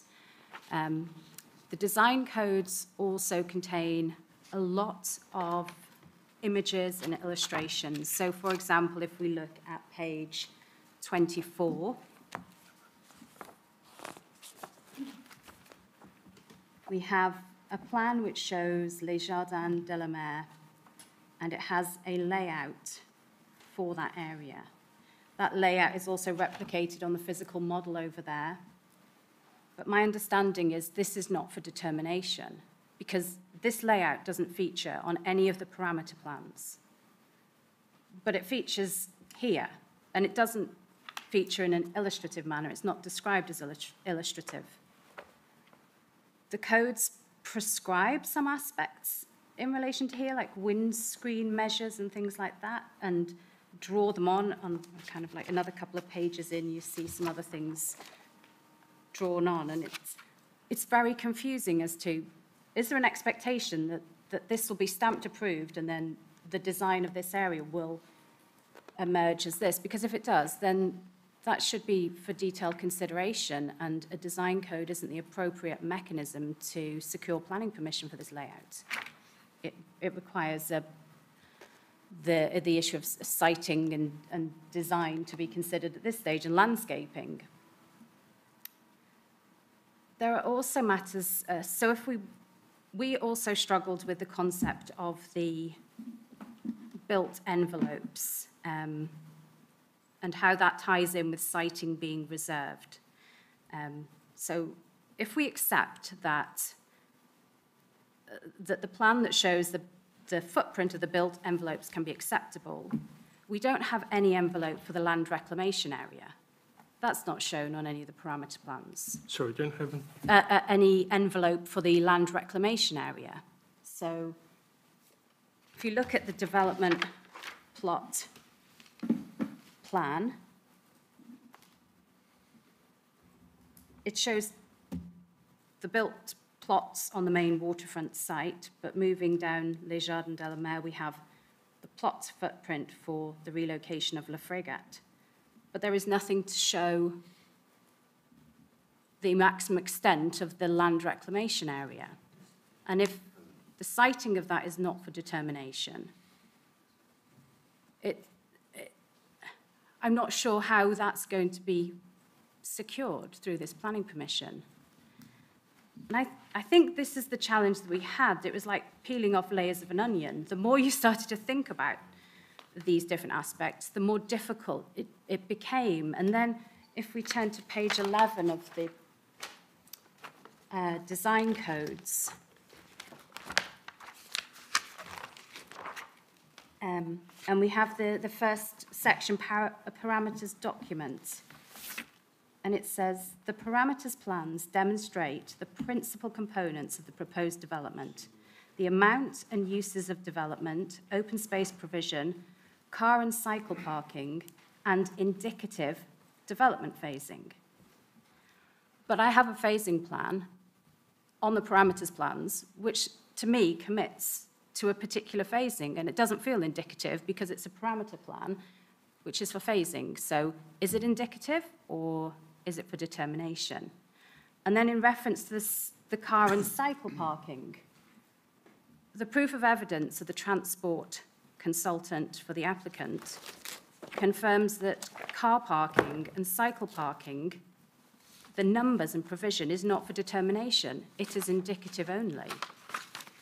So it's these types of conflicts that have made it very difficult to us to really understand what a permission would result in.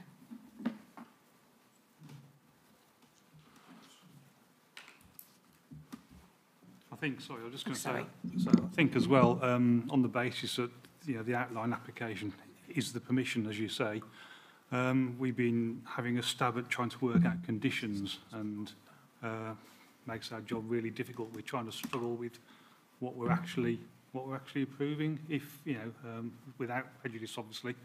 Um, so this is why this discussion this morning is really useful for us as well to try and get a grasp on what we're actually you know, determining. And I think as a, as a final point, the, the, there are two documents for the design codes. Um, there's a design codes document and the summary report for approval. And I know there was feedback from the planning authority prior to my involvement with this project, but also feedback from the Jersey Architecture Commission that they felt that the design codes were contained a lot of information, were, were prescri- prescriptive and potentially would influence a scheme coming forward. Um, and I don't think what we have in the summary report really resolves that issue because there's, there's volumes and volumes of codes that I don't know how they're enforceable. If something comes forward with reserve matters application that it's not in compliance with something that was prescribed in here, I, it's the, the level of prescription in some aspects, like the spacing of trees and street furniture and various things, it, it strays into the area of detailed matters. And so it just question the utility of this is a document for approval, unfortunately. Okay, Mr Nicholson, I'll ju- just go back to Mr Yep. Nicholson first. Any thoughts, what you've heard there? Yeah, I think there, there is a, um, a, a- a general desire, which I've heard several occasions uh, this morning, which, which I think is positive, for, for more information. Ev- everyone, wants, everyone wants more, and they want more now. The whole approach of the application has been to not repeat mistakes of the past. Uh, this whole area was subject to one full application uh, that application, uh, the above ground works were, were approved, and the, the whole project uh, fell by the wayside because it was, it was uh, the big bang. It was everything all at once, and it was the failure of that application which led to the um, master plan uh, SPG being uh, revoked, and it led to the whole uh, South West St Helier framework approach being uh, promoted. That, that approach is, in, in my reading, uh, I think it comes through in, in the document itself, it, it is a step-by-step uh, approach which brings the public uh, on board at every stage and, uh, and, avoids the, um, the, the, the messes that will emerge in trying to uh, fix everything at day one for, for a project which has got a, you know, a 12-year, four-phase uh, lifetime. The project has to adapt and flex standards of, uh, uh, of, of policies uh, in relation to you know, design requirements, car parking, landscape provision. They, they will ebb and flow and, and you know, uh, uh, change during the life of the, of the application. And, and, the, and the proposals have to be able to flex with that ebb and flow and the community expectation that goes, that goes alongside that. So what, what we are uh, proposing, it does have all matters reserved. The design, design code uh, is guidance. Um, some of it is, is mandated, some of it is advisory. And, and that is, the purpose of that is to, is to set a direction of travel. Uh, it is to provide people uh, with comfort uh, and to uh, explain how the expectation from the island plan, the character appraisal and the framework is pulled forward into the application. It, it is not intended to fix uh, matters such as landscape for the um, western approaches uh, play area. Those, those matters are, are not fixed. Um, in relation to uh, one of the points that came up was the um, reclamation and the extent of reclamation. That is shown on uh, the scaled drawings. The, the extent of reclamation is, is as proposed. And one thing that the errata schedule do, does is to um, add a dimension to that, um, uh, to that uh, parameter plan um, so that it can be, can be read in the same way as the rest of the uh, annotations. But the extent is there and it's shown scaled on that drawing. Um, we, we, it, it, is, it is exciting that people want more information. They want to know uh, how it is going to look when it's finished. But we need to be uh, aware that that is not the nature of the application. it, it is uh, about the broad acceptability of the three-dimensional forms, uh, plot layouts, and the phasing, which is one of the uh, parameter plans. Uh, and it is about um, having the ability to make um, reasoned judgments through the EIA and through the degree of certainty established in the codes about those reserve matters phases. Okay. Is it possible to come back just on one, course. one comment there? I um, just to clarify, our request is absolutely not for more information. It is for better definition of what is illustrative, what is for determination. And it really feels that the level of information submitted is not commensurate with the matters that are being brought forward for determination, which is really very simply plot outlines. Um, so it makes it difficult to understand why some of those matters couldn't have been for determination at this stage. It's, it's almost gone from one extreme to the other with the previous permission you referred to having everything for determination and proving unsuccessful, and now we have nothing for determination effectively. Um, and I think if, sorry to do this, but if we go to the Rochdale envelope principles, one of those principles is that if you are seeking this level of flexibility, you have to explain it and justify it. And it doesn't feel like this application does that. Um, there's reference to, well, this is a, a long development period, and so we need flexibility. But that's, that's not unique to large scale regeneration projects. And nothing is set in stone. So, you know, there are options to, to vary matters, and it, it just feels like so much has been um, left for future consideration, yet there is volumes of information at this, at this time. Okay. Um, Mr Young wanted to say something. Thank you, sir. I'm grateful for both uh, the opportunity to hear Mr Nicholson explaining the approach, that the procedural approach that SOJDC has taken, and the Planning Authority for uh, explaining the mismatch, if you like, that that approach is, uh, that highlights with the planning system, whether we like it or not. You know, the planning system as it is, it's defined in law, and uh, I think everybody, applicants, the public, have to work within it.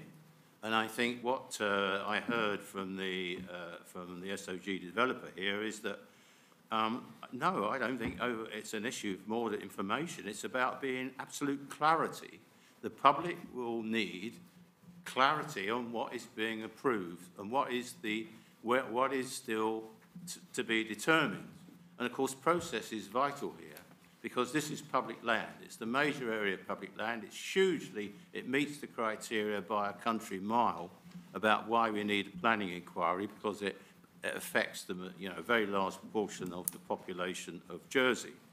And they will want to be confident and see in the process that they know what is been approved and they've got an opportunity to have a say and understand and yes, there, of course, there need to be changes. Nothing is ever cast in stone, as I absolutely agree.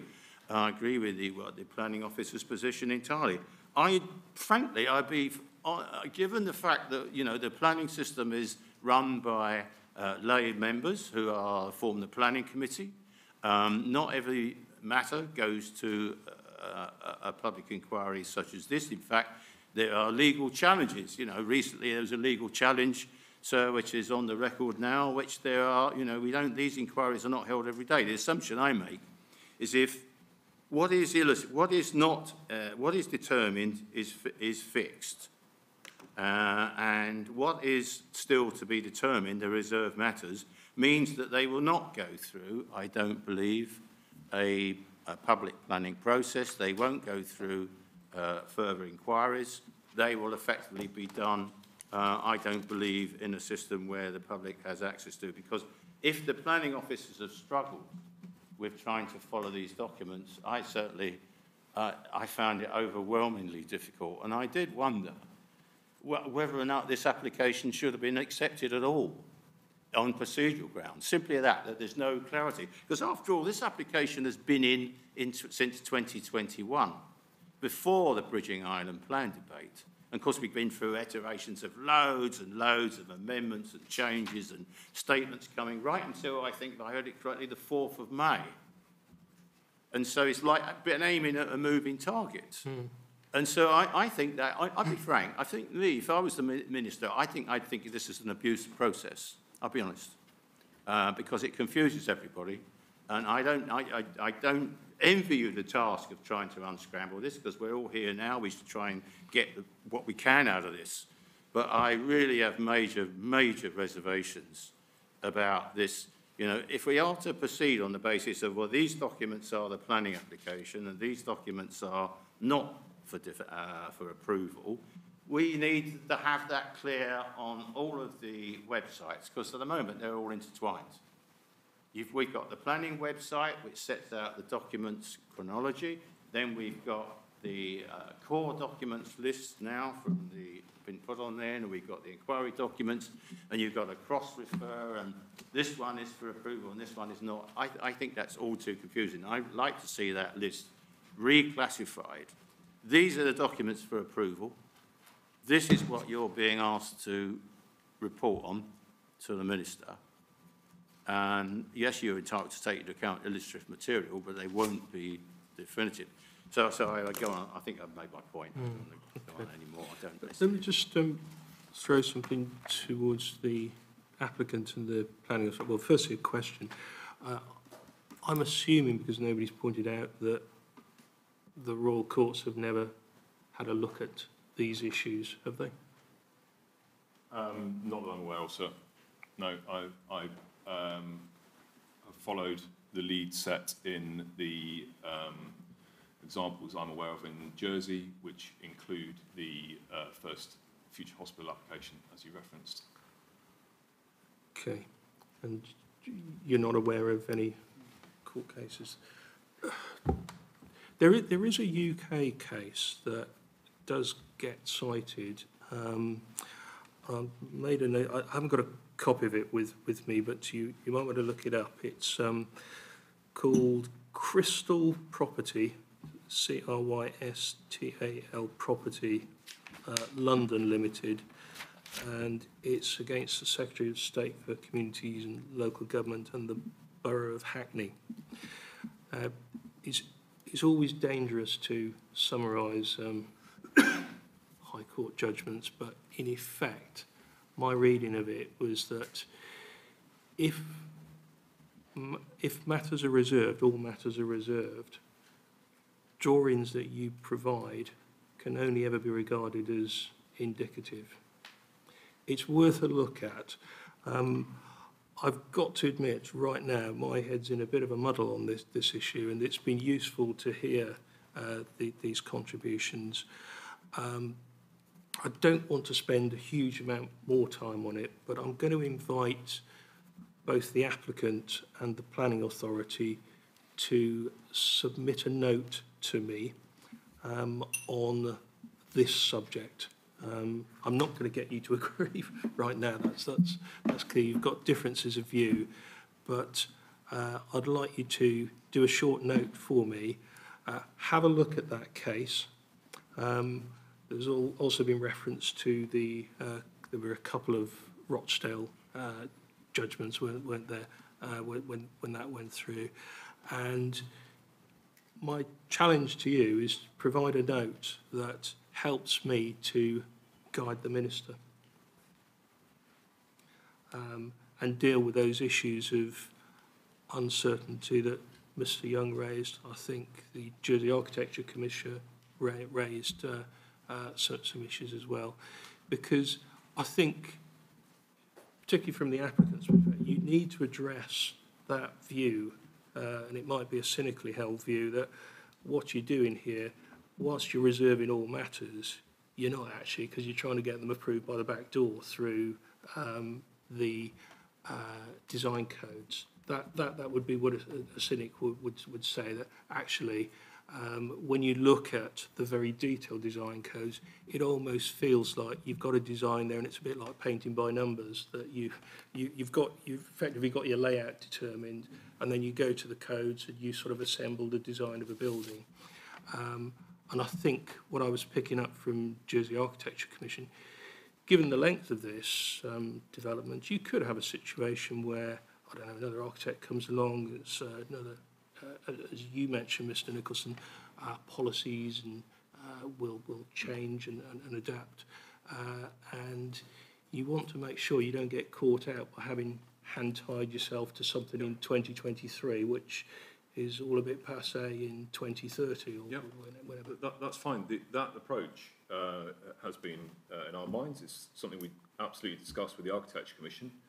Um, and uh, if, if the degree of change is uh, to the, uh, of the magnitude that the uh, expectations move outside the position which is uh, within the design codes, then there are other routes to uh, progress applications on the site. A, a distinct full application could be submitted for particular parts of, of the building if those circumstances stretch beyond the, the terms which are being discussed now.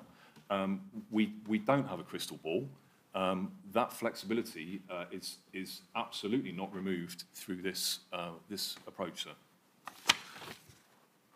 Okay. So you're, you're comfortable with your homework? Thank you. Yes. So could I ask that in those notes, there's absolute clarity about which documents are being asked for approval and which are illustrative? So for the public to see that as well. Yes, I, th- I think, and well, anything that's We submitted re- will, We will restate that. yes. Um, and I think it's a bit, well, it's a, it's a good point because it's a bit more nuanced than that because um, if the design codes document is for approval, within that, there's a fair bit of wriggle room, isn't there, in terms of the, uh, the sentence I read out because you've got mandatory codes, but that sentence right at the outset says, but, um, you know, you can have a good reason for departing from them. And not So- just the documents, but actually the references and links into other documents, that's what I'm Yes. saying. Thank you, sir. So please, if you could help me make some sense of it, that would be useful. Mr McCarthy, you want to come back? We're going to have a break very shortly, so if you could keep it brief. Um, the, the issue of public consultation, you know, it said, we've got a report that says there's public consultation. But you can't just say, we had consultation, but we didn't have any information. They didn't know what they were approving. They didn't know. And so I wanted to bring this down, this is a public inquiry. So that if we've got leading professionals on both sides uh, and the inspector is not clear, well, we haven't had any public consultation because we're not, we've been consulted on. I mean, so let's, can we also make it real? And the next real issue is, and if it could be taken into consideration, is this a fair and consistent planning application that any member of the public would make? Okay? So would they accept somebody submitting a planning application to build in a field? I'm not telling you what it looks like, I'm not but it's something like this. I mean, they would be laughed at and thrown out. Go away and do your job properly. So I'm now focusing back on the EIA. And everybody's talking about the lawyers and the, the EIA was never meant for lawyers. It came from the United Nations. It came from WHO, World Health Organization. And all it was saying is, please, if you're going to do a development, don't harm people when you don't have to. When you don't have to. And how do you do that?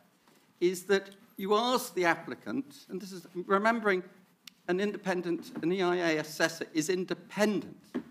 Whereas this in this application, I don't think they're here, are they, the, the environmental impact assessor from the- the applicant? I don't, I can see why. Because they're also employed to do the Horizon project. And those same engineers contaminated our water. And they're responsible for this EIA. But don't worry, those consultants are registered by IEMA as merit consultants. And I've spoken to the IEMA and said they're not complying because I've done EIAs, significantly more complicated than this one. There isn't enough information for me to assess it and independently talk to the members of the public and say, you're going to be harmed or not harmed. There isn't the information. So I want to try and make this more public inquiry more real. So the question I have is it's clear. Somebody's misleading here. They are misleading them, they're misleading us.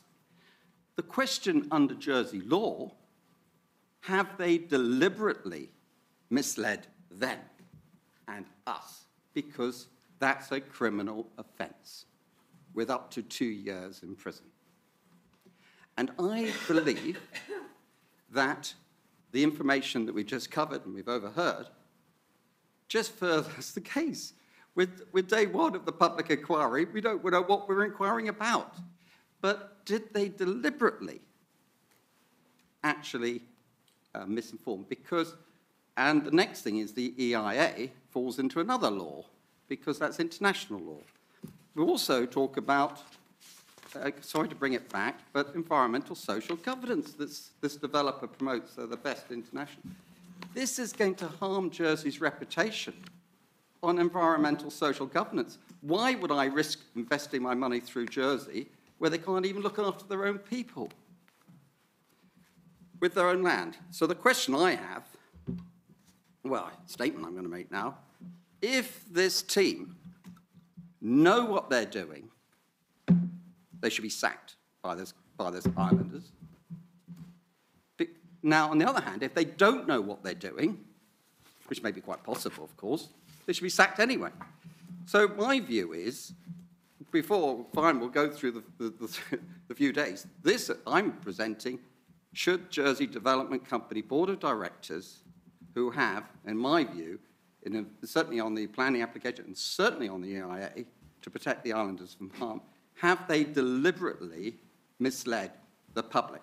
And if so, under Jersey law, the chief officer of planning, which we don't have one anymore still, can start proceedings to take legal action. And that's what I hope will come out of this inquiry. Thank you. Okay, Mr Carthy, thank you. Very brief. You can, very briefly.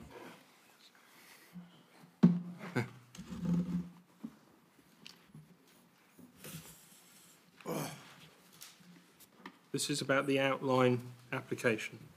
Yeah, okay. Um, kind of, been a morning of objectivity, which is good. And just because who I am, where I am, how old I am, my experience, is a little bit of subjectivity, okay? This whole setup reminds me of a holiday I had once in Guernsey with my family, and I got lost in my hire car going to the airport, and I wound the window down and asked uh, a local, where's the airport? And what did he say? You're starting from the wrong place, which is what this is all about. And as a precedent, and as a good precedent for WEB, who did first, the first phase of this environment, I was on that team, and everybody, even though it was criticised at the time, accepted, now accepts that scheme. Uh, I think it all began for me maybe 30, maybe 50 years ago, but in 1988, the island plan uh, was issued, and there was no waterfront then, but La Colette scheme emerged, and it's probably the best scheme that Jersey never had, has never had. Um, The planning application for La Colette was never processed. Then began, mm, I can't mention the names, but were David Arden and Peter Thorne. They drew a line, uh, which was which is the uh, current uh, uh, waterfront, um, reclamation, and for the next 10 years they filled it with rubbish, it's contaminated. As the architect with the late great also, we did the first building, which was La Frégate, which is now listed, and uh, as far as um, Sodge DC are concerned, it can't be moved, okay? Listing grade two means the building stays on the site. Um, we built a concrete foundation, 30 metres long, three metres by three metres square, uh, because of the contamination of that site. And we've seen the planners um, object to this scheme. We've seen um, John Young object to it. And Chris uh, McCarthy objecting to it. And I object to it because over those past 30 years, I've tried to, because I teach, I've tried to take students, members of my staff, politicians, to good places in, in Europe. And in no particular order, it's Charm 5, Copenhagen, Hammarby in Sweden, Amsterdam, Rotterdam, uh, and Malmo, and best of the lot, uh, Vienna. And I've brought those um, thoughts and experience back to Jersey. I see no evidence whatsoever that Sodge DC even know about these places, uh, let alone be there. And um, they've moved, they've morphed from a feasibility study uh, to a, plan, a, a kind of planning application by stealth, little by little. Um, and they've really missed the boat. As a feasibility study, uh, like uh, Freddie Cohen set up and uh, Duhamel set up, the road was the problem. These people have ignored the road. We still have a six road, six lane motorway through the, through the middle of a so-called housing scheme. And if you talk to people like uh, Sir Mark Boleat, who thinks a 1.7 million pound flat on the top of Horizon solves Jersey's housing problems. It doesn't, it makes them worse. Um, that team, uh, Lee's team, includes AECOM, and within AECOM, AECOM probably got 3,000 architects, one of the biggest in the world, but it includes EDAW, and EDAW did a fantastic job uh, in Jersey to get the phase one of waterfront underway. Um, and EDAW I don't know if you've come across them, but they were responsible for the 90, sorry, 2012 London Olympics, which is superb. Um, and Sodge DC should have, totally ignored the original WEB team, and I'm probably the only one remaining from that. But they should have, should have talked to them. EDAW should have been involved in this. Um, they, are part of AECOM. EDAW uh, 60s, formed in uh, San Francisco, mistakenly called Eight Days a Week. Um, I don't know their status now, but they're, they're kind of world class. You know, Jersey's got a world class finance centre, so we need world class consultants. We haven't got them. Um, I've got nothing more to say except in terms of architecture, I, I as a practicing Jersey architect, would be embarrassed by that presentation. Um, it's a, a, ghost village, ghost, ghost town. It's a new word. It's a new word in the system called ghettoization, which are gated communities with um, wind tunnel streets, you know, a, a nightmare place to live, in my opinion. I'll say no more. Thank you, Mr Mason. okay, I think we'll take uh, a short break now till midday. When we resume, we'll finish off um, session one and make a start on session two. Thank you.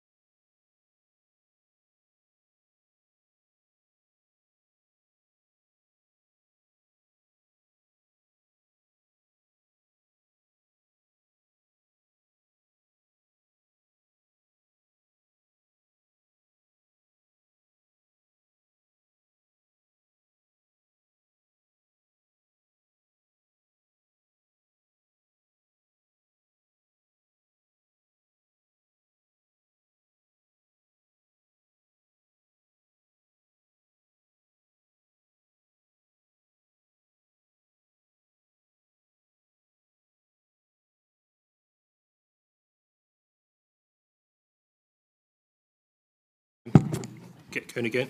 Um, right, just a recap on where, where we are in session one. We've uh, been through my introduction, opening statements, digital model, procedural matters, including all of that complicated business around the, the outline application. Um, I'm going to move on now to a couple of items which I intend to actually make very brief.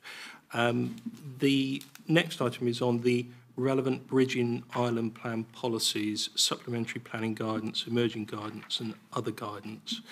Now, I like to do this in an inquiry hearing just to make sure that um, I'm looking at the correct list of um, plans, policies and documents.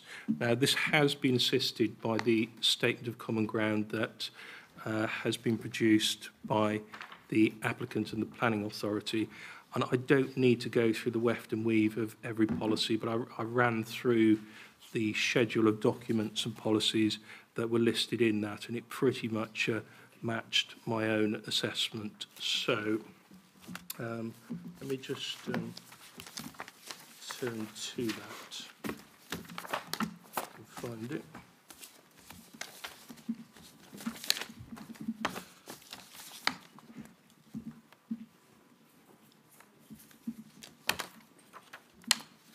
So in the statement of common ground, there is um, a list of relevant policies. I won't go through them because there are too many.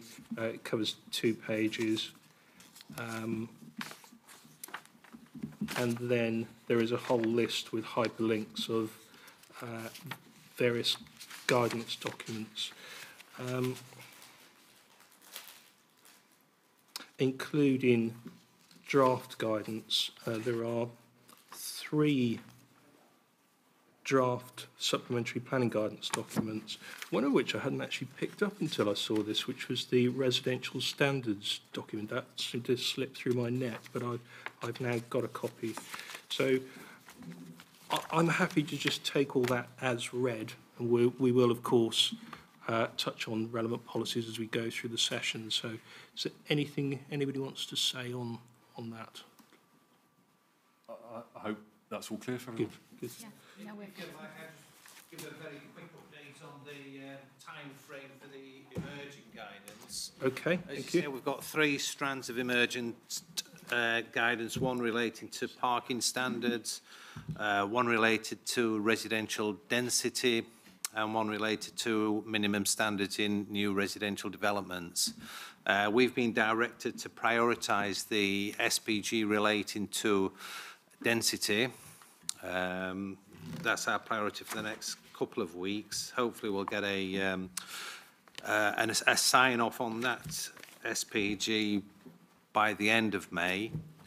Uh, the two other um, emerging SPGs, parking and the um, minimum standards, we're looking at probably sometime in June, hopefully for sign off on that. We've been to consultation on each of the SPGs. Consultation's now finished. We've reviewed feedback and we're in a position to pass them on to the minister as soon as we can. So next couple of weeks, we're looking at the density SPG and then sometime in June, the parking and minimum standards. And on- on the parking issue, I would ask you to regard the extant parking standards SPG as a, a mere optical illusion. Um, it's a pretty, uh, pretty much outdated SPG and we'd rather not um, hold any decisions on that SPG. I have said that on many occasions. They keep good, cropping good. up though, don't they? Yeah, I mean, it's time we rescinded it. It's just a, a matter of um, uh, resource to get that actually formally rescinded. But the, the new parking SPG will automatically then rescind that. So just treat that one as just um, a, an optical illusion. Okay. Um, right. Could I just ask then on that, on those three SPG documents which are heading towards Yep. uh, formal adoption, Yeah. um, as a result of, I don't want to go into the detail of it, but as a result of consultation exercises, Yeah. is there going to be much change to any of those? We- We're not envisaging any significant change. Um, feedback we've received has been pretty positive in terms of what was drafted. Um, they clearly state the direction the minister wishes to travel um, in terms of making new homes a better standard, in terms of turning the parking standards on the head. So in town, we're looking at um, achieving maximum standards rather than minimum standards of parking.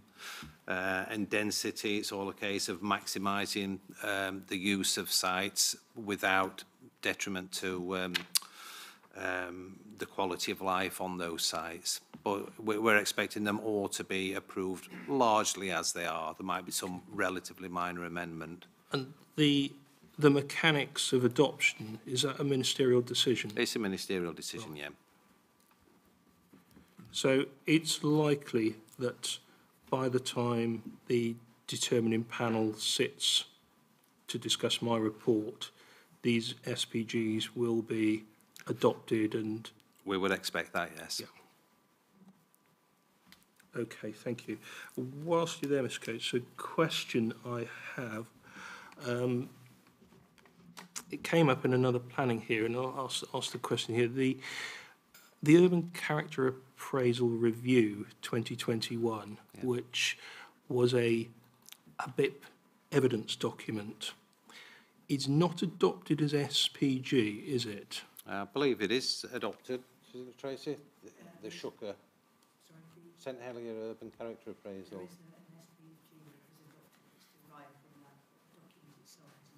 Yeah, so the document is tied to the SPG. The SPG, there is one in force, um, but the, um, the document itself is, is the evidence behind that document, I believe. Is that right? I believe that's incorrect. So Right. the uh, proposal to adopt part of the urban character appraisal is tied in with the density SPG, which is not yet adopted. Right. Right. That was my understanding, Yeah, actually. well, that, that, that, that might be the case. It's not a, um, a direct line of work I've been involved with, so that might be the case, but I can confirm that today.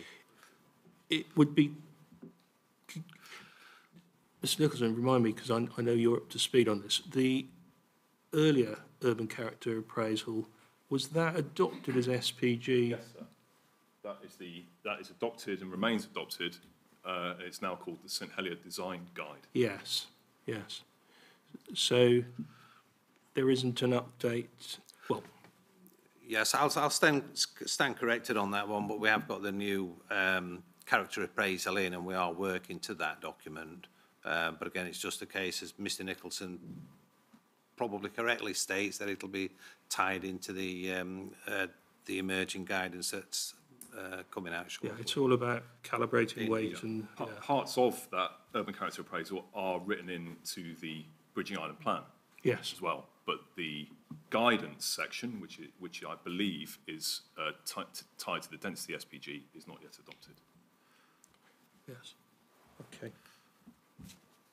Thank you. Okay, that's, sorry, that's, that's helpful, thank you. Okay, Thank you. Um, Okay, now, the next item is community engagement. Now, I've, I've heard some remarks from Mr McCarthy and, and- and others, I think, on their views on consultation. But there is, whether they agree with it or not, there has been uh, community consultation, and that is set out in a document and also it's core document 3.2 and also there is proof of evidence from Philippa Curran on that subject. I don't think she's actually attending, is she? I think it's uh, just That's a, correct, sir. a, a written proof.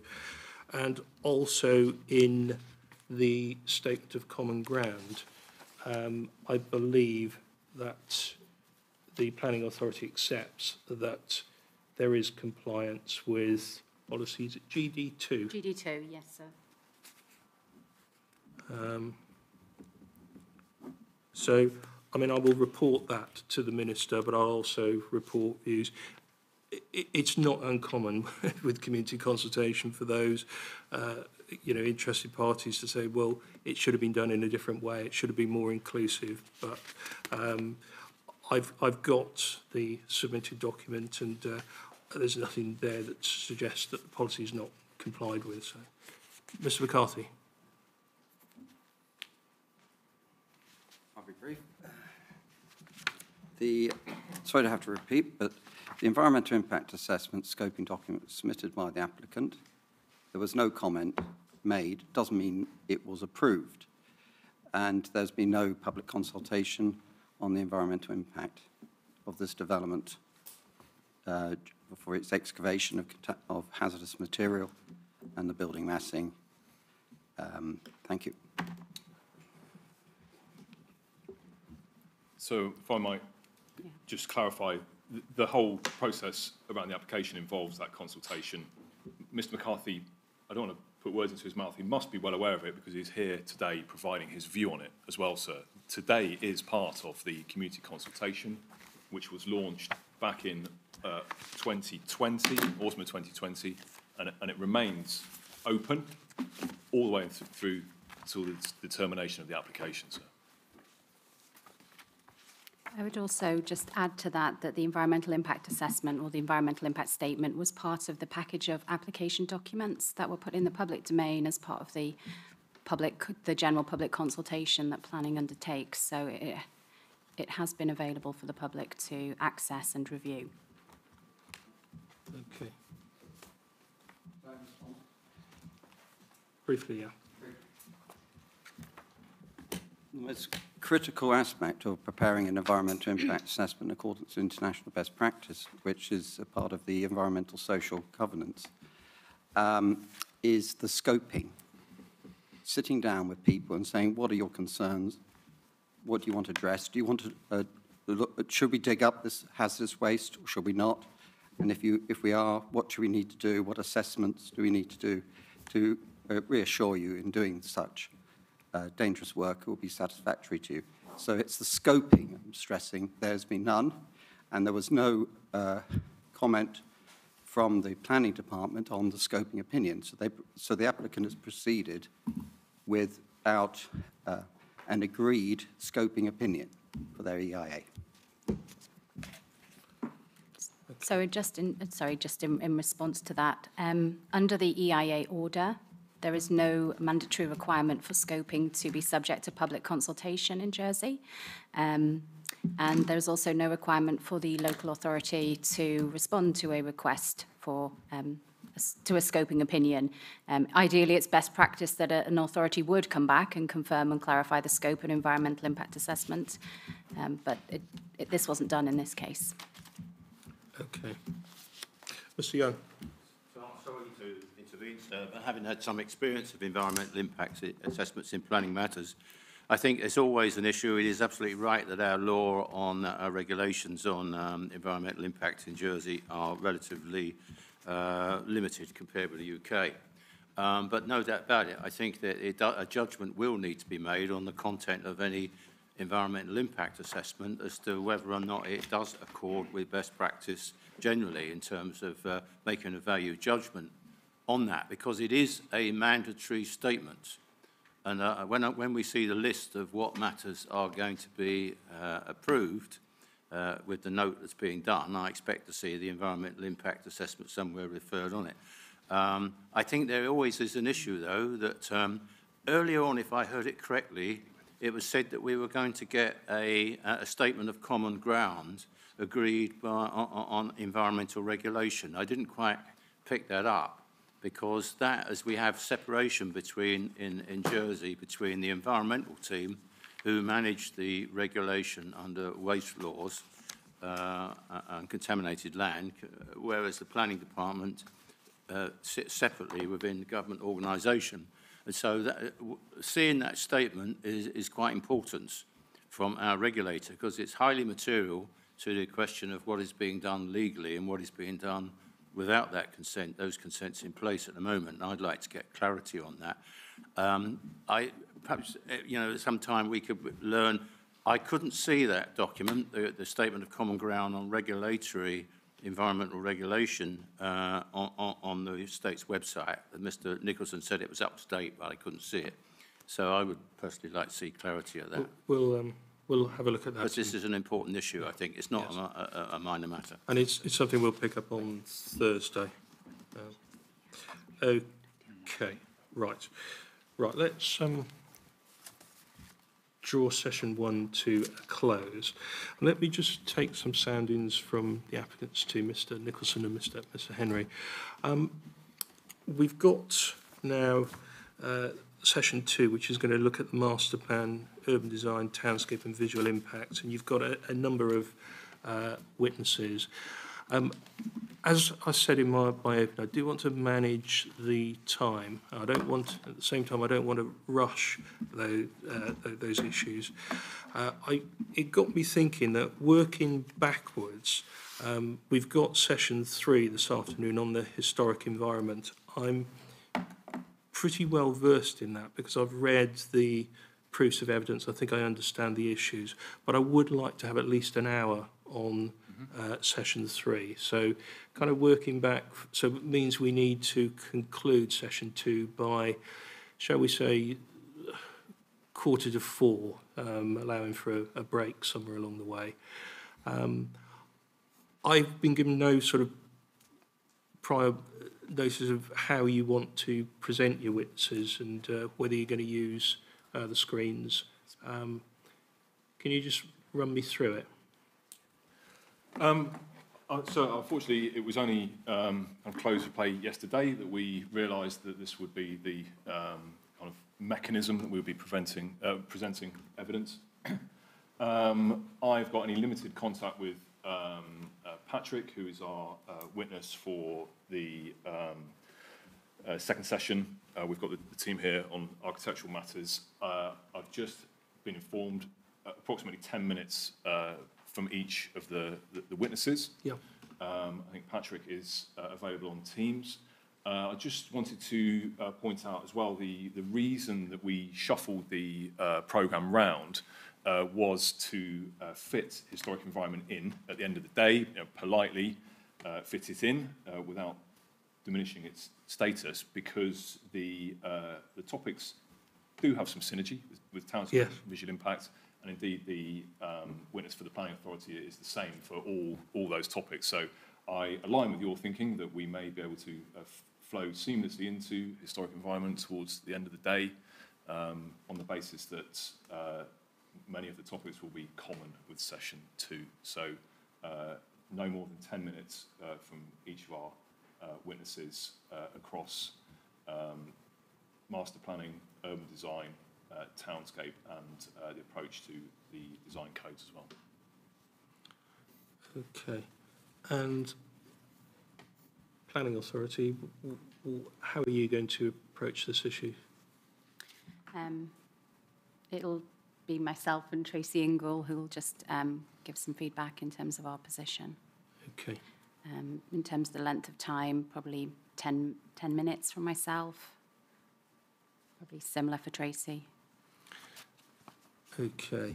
Um, well, Mr Mr Henry, I mean, uh, uh, did, did you say that there were some logistical issues? Uh, I hope that we are covered, but um, Gillespie's our um, lead on the master planning um, elements. Uh, urban designers, uh, landscape architects. Uh, unfortunately, we've got no representation in the room from Gillespie's. Uh, they were coming from three different airports yesterday. All three flights uh, returned uh, because of the fog, and um, they are unable to rebook uh, for today. So all three witnesses are uh, uh, on uh, appearing virtually. That's the extent of the uh, logistical is- issues, so, so we can't communicate very easily with them. Uh, I understand Delta have got them ready to go. But they, they are actually ready to go. They are ready to go. And how do you want to, do, do you want to do one, then take questions, and then on, on to the, the, the next, or do you want, do you want to run the witnesses one, one after another? Um, I will just take a sounding on that uh, with the people who are in the room.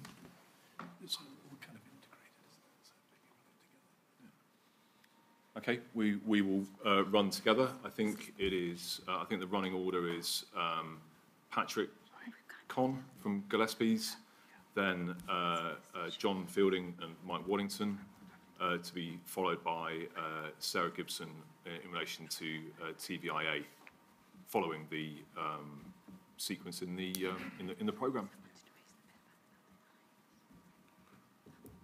So if the timings run to plan, probably half an hour across uh, all three witnesses, sir. Okay, sorry, who was it on the TVIA stuff? That was Uh, Sarah Gibson Sarah Gibson. from uh, Gillespie's, who, who I understand is available online. Okay, okay. Well, uh, the the is yours. Um, Thank you.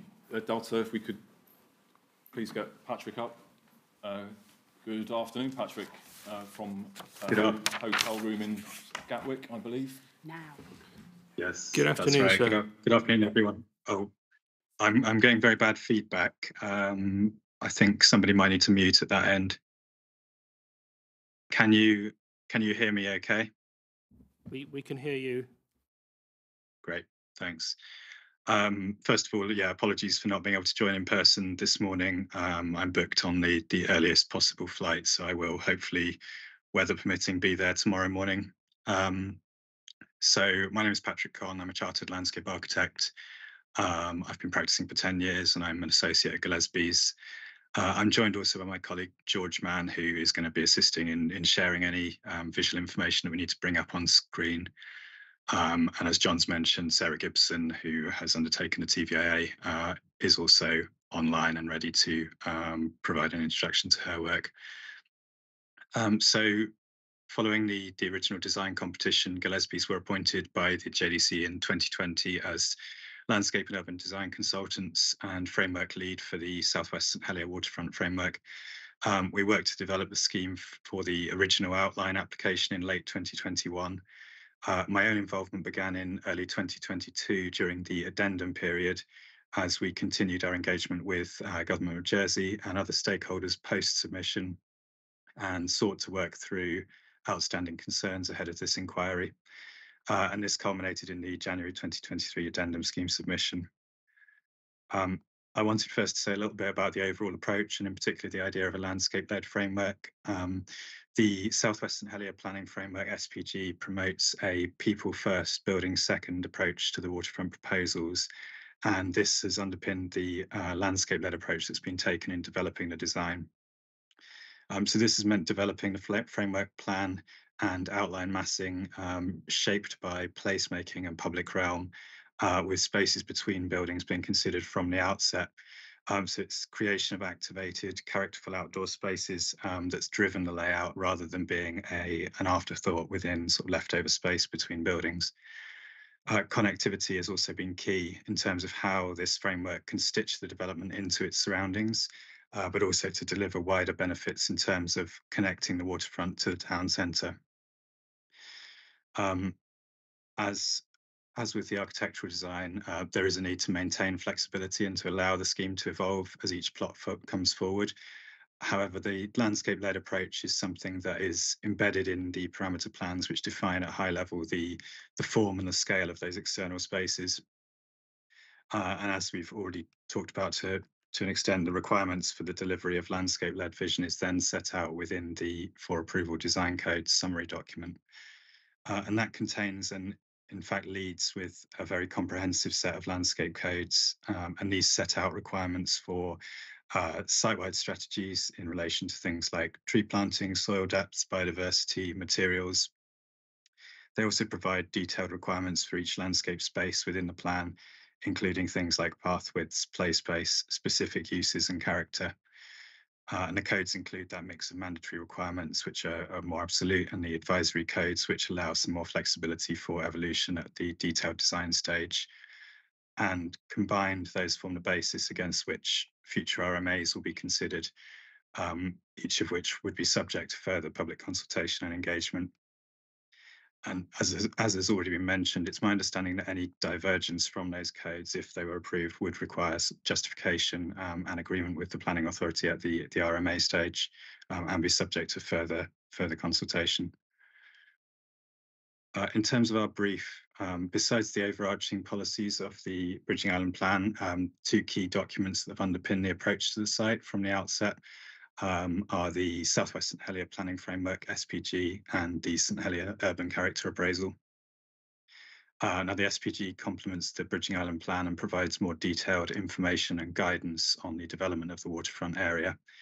Uh, and it includes a series of general principles which have been drawn from community consultation and effectively set out the key requirements and expectations for the scheme. So those have been our continual reference for us um, in developing the design. Um, the first of these relates to circulation and connectivity. Um, healing the severance of the waterfront from the town centre is a key aim of the SPG. And the scheme's massing has been shaped by this uh, main pedestrian axis that spans across the Rue de la Libération and links the waterfront to the town centre.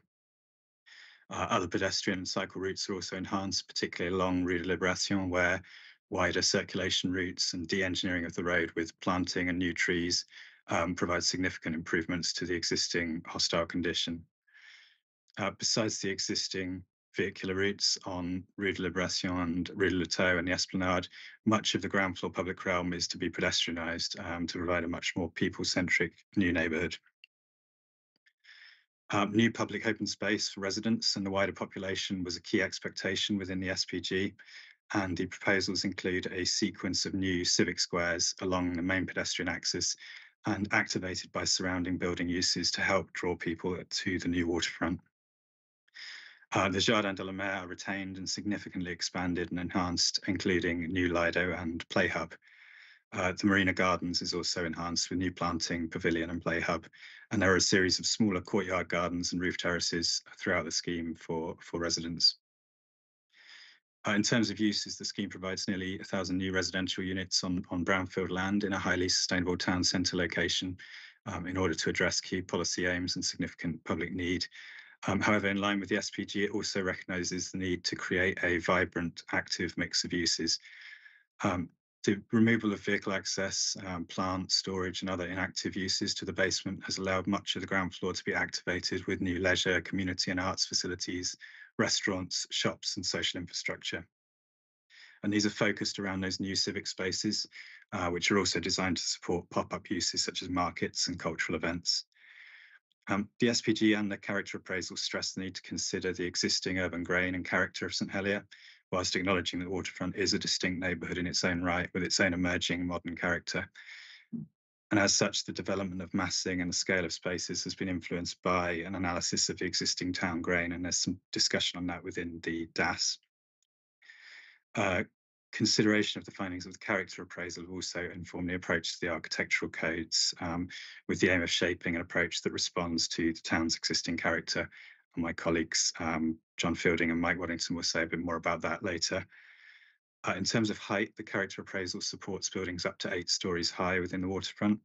Um, and massing heights have been developed in line with this and with consideration for the surrounding context um, in terms of the heights on proposed parkside and commercial quarters. Those respond to the existing esplanade and the IFC, which range from four to nine stories in height.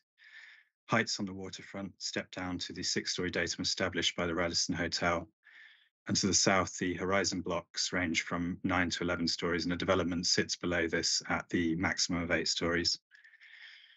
Um, these heights are, of course, a significant change to the existing condition on site and will inevitably result in some change to views within and into and out of the site uh, in line with um, General Principle 6 of the SPG, the impact on views has been a consideration in the development of the massing, and a TVIA has been prepared in order to set out those impacts for consideration in the planning balance.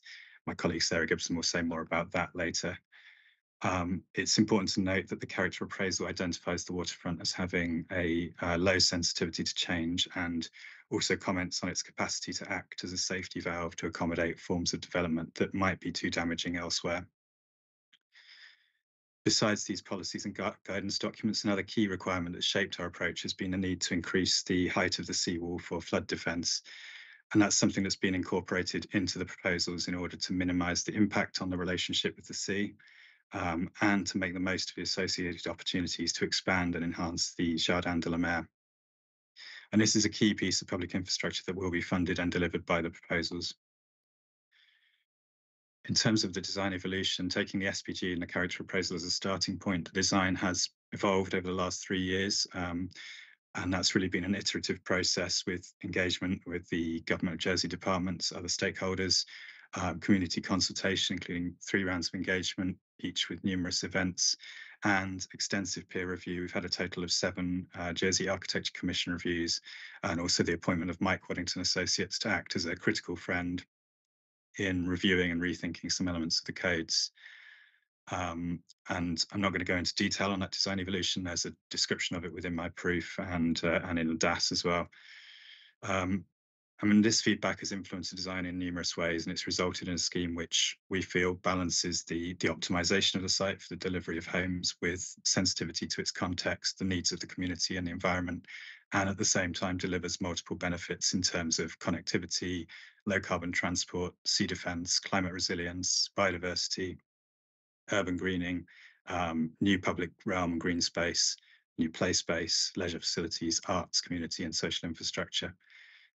Um, I'm going to hand over to my colleagues, John Fielding from Heta Architects and Mike Waddington from Mike Waddington Associates to talk a bit now about their role in developing the architectural codes. Thank you. Uh, I'm John Fielding, um, 25 years of experience as an architect um, in the UK, delivering uh, complex planning and stakeholder and heritage projects. Um, we're working primar primarily with Gillespie's from 2020 on the master plan proposals as collaboration, but also focus for us on evolution of the architecture, design code elements and the visioning framework outline um, submission. I'll just give a little bit of context as to why myself and Mike um, are here. Um, so the codes have been carefully evolved since the start of a, an extensive consultation process dating back to 2020, right through to the original submission in December 2021. Uh, and subsequently to that, we collaborated with uh, Waddington Architects based in Jersey to contribute peer review and aspects of Ireland architectural perspective to help inform the codes further for the subsequent addendum, which was in January 2021. I'll let Mike introduce himself. Thank you. My name is Mike Waddington. Um, I spent 10 years working in London and uh, the last 26 years working in Jersey.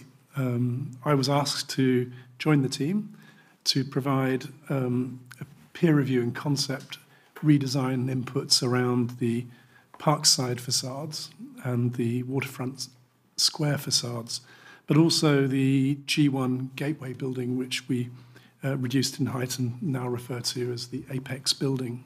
Uh, and my particular emphasis really was on trying to, to sort of deliver um, local relevance, emphasizing local relevance in the design codes and the design approaches for the elements I was involved in. Thanks, Mike. Um, just to start with, the purpose of the design codes in, in our respect, there's been a lot of conversation earlier to this meeting, uh, to this session, but to define high-level principles for the consistency and approach of architectural form and character of the individual buildings to evolve out of, whilst respecting the overall master plan vision framework, local policy guidance and context in order to deliver the vision in, in, in a little granular detail at later reserved matters stage. Um, the code and parameter plans seek to maintain the right balance between securing the aspirations of the development and maintaining sufficient flexibility for the scheme to evolve to later reserve matters stage to remain relevant and appropriate to context and policy. Um, as I mentioned, there's been an extensive consultation and stakeholder engagement process that has informed the codes themselves um, in pre-planning and also with statutory, non-statutory neighbours and local community um, engagement. Um, in reference to how the codes relate to policy, obviously there's the Bridging Island Plan and SPG that relates to that in the framework. But one of the fundamental documents was our review of the SHUCA document 2021, which was the urban character appraisal and the relationship that heavily that did influence quite heavily um, the design codes for each plot within the revision framework proposals, and they can be seen in detail in section six of the design codes document. Also, there is a lessons learned summary of that in um, the DAS section 2.5 and how that relates to the urban character appraisal. Um, essentially, this links back to retaining and enhancing the character of St Helier described in the Bridging Island Plan and the context of that to the SPG supplementary framework. So these policies have, have heavily helped us develop these, these codes. Um, and essentially, this was in, appro- in response to some of the consultation comments about an approach to architecture been developed as part of that alongside the urban character appraisal. In, a, in essence, to define aspects such as principles, architectural typologies, a kit of parts matrix of architectural elements to use within each typology, potentially touching on materials, colour palette, texture and tone. Um, briefly, the evolution of these, these codes as they've developed. Um, they're, they're defined in certain aspects by frontages, entrances and lobbies, colonnades, proximity and overlooking, facades, general proportions, balconies and overhangs, residential quality, privacy and overlooking, roof level datums and setbacks, approach to rooftop plant, green biodiversity roofs, aspects of wind mitigation and other architectural elements. Um, and has been mentioned earlier, some of the document is submitted as for mandatory and some as guidelines. Uh, the individual building plots are described in terms of, of layered characteristics in grain and level and were in fact simplified following um, comments after the first outline submission in December 2021 and that has been that simplification has been incorporated into um, the addendum submission in January 2023. Those key amendments can be summarised um, before I introduced Mike on, on his aspects. Um, that a number of the grain of the facade grids that were um, seen in the codes were simplified or reduced. Um, the codes for A1 building frontage on the main square uh, were simplified and more symmetry um, given to those aspects in response to planners' comments. There was an extensive review of the design codes related to the massing amendments in relation to clarifications of all buildings sitting under the eight-storey um, permitted envelope, which included uh, aspects of roof plant and uh, adding green roofs to most of the um, buildings. In addition to that, um, there was um, full architectural peer review, which I'll now hand over to Mike to go. Thank you, John. Uh, so in my proof, you'll notice that I mainly concentrated on the outcomes of the areas of work I was scoped out to do. Uh, if I may, I'd like to briefly run through um, the design thinking that underpinned that work because on face value, design codes don't sound particularly interesting, but I'd like to talk about the, the passion and the effort that went into them. I think there's also an understandable leap of faith or element of trust with outline planning applications. Will the codes deliver something really special? Will they deliver the promise of delight? I'd like to try and convince you that they will and outline the reasons why. Um, I channeled my design thinking through two key topic areas. Firstly, identity and well-being, and secondly, memory and movement. Um, and in terms of identity, uh, initially I looked at the personalities of the facades of the Parkside and Waterfront Square elevation um, buildings and also the Apex building. As in my proof, the Parkside is a calmer, more formal backdrop to the park, um, more vertically emphasized in terms of its composition, rather like the language of St. Helier that, it, that backdrops it. However, the waterfront square is more light-hearted and is aimed to evoke a sense of fun, more horizontally emphasized in composition as it addresses the sea and the horizon. The Apex building is more ex expressive architecturally, but in its form, it's quite modest um, it, as a sort of subtractive corner stepping down in height. It borrows from the dynamics of the triangular site it sits on. Also, in terms of identity, trying to sort of look for contextual clues that might uh, spark design responses, capturing the essence of the site, the, its unique sense of place, what's special about the area or particular or even ordinary, and how might this be translated into design responses. The whole site is effectively transitional between townscape and portscape, and so it has got the capacity, I, I thought, to be a conduit in terms of um, permeability. The Apex building aims to sort of create a contextual connection or conversation with the port. Um, shelter, exposure, trigger colonnades, canopies, roof gardens, and private balconies. The feel and smell of being near the sea suggest mar maritime landscape places. In terms of well-being, the landscape-led framework with green roofs, trees, and biodiversity help hugely with well-being. In addition to that, um, with the Apex building, uh, social circulation spaces and common areas help to encourage neighbourliness. Dual and triple aspect homes with tall ceilings uh, for great daylight and fresh air, um, and shared spaces uh, like the podium gardens and roof gardens, and also the possibility of the ground floor having social activities too in the form of work cafes, gyms, or laundrettes. And creating identity at macro scale in the public realm, but also at micro scale with small details, the potential for miniature public art installations. In terms of memory and movement, it seemed to me that memory could be a useful device to create identity, particularly in new places and in a powerful way. The memory of disappearing maritime industrial heritage, cranes, gantries, silos, and railway tracks, triggering the apex building's steel exoskeleton, and the harbour related colour scheme. The memory of local history, past eras, and past industries like Jersey's brickmaking industry influencing material choices, Jersey's 19th century knitting industry influencing sculptural metalwork and railings, whole families living knitting 24 7, and men being threatened with prison if they did so during the harvest. Such was the wealth it generated. Jersey's oyster influence, in industry influencing landscape gabions and walls, with our oysters feeding the poor of London. The heritage of land reclamation, earlier seawalls now land bound. The heritage of the evolving harbours and how our changes are part of the same ev evolution. And recent memory, which could be celebrated by integrating salvage from the site into facades and the new places. How walls might offer narratives of the past or even the future memory as public art, enriching placemaking led design responses and narrative. Movement, literally, in terms of colonnades that connect through up parts of the projects I was involved with, linking the port to the town. Gordon Cullen's Here and There, the joy of connecting places and being intrigued about what's round the corner. How the floor and the pathways as canvases can enrich people's lives through wider storytelling links across the road and the potential to embrace the Coronation Way initiative, which is an initiative looking to connect pedestrian routes and cycle routes across town. And the movement of water, the ebb and flow of the tides.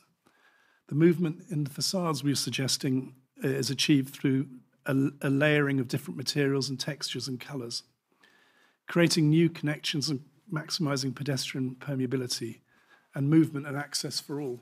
So, just a few last thoughts. Um, the ideas and process described have really infused the design codes and the access statement with compelling and locally relevant, even vernacular ingredients, capable of delivering exemplar buildings and places which will be rooted in their context. The waterfront is an opportunity to create a wonderful new quarter connecting the town to the port, beautifully designed and shaped through community engagement and expectations. Inspired by a deep understanding of the sense of place of our site's surroundings, the vision framework provides, I think, a really exciting template for this part of St Heliers' evolution and offers the promise of a really special new place for everyone to enjoy. Thank you.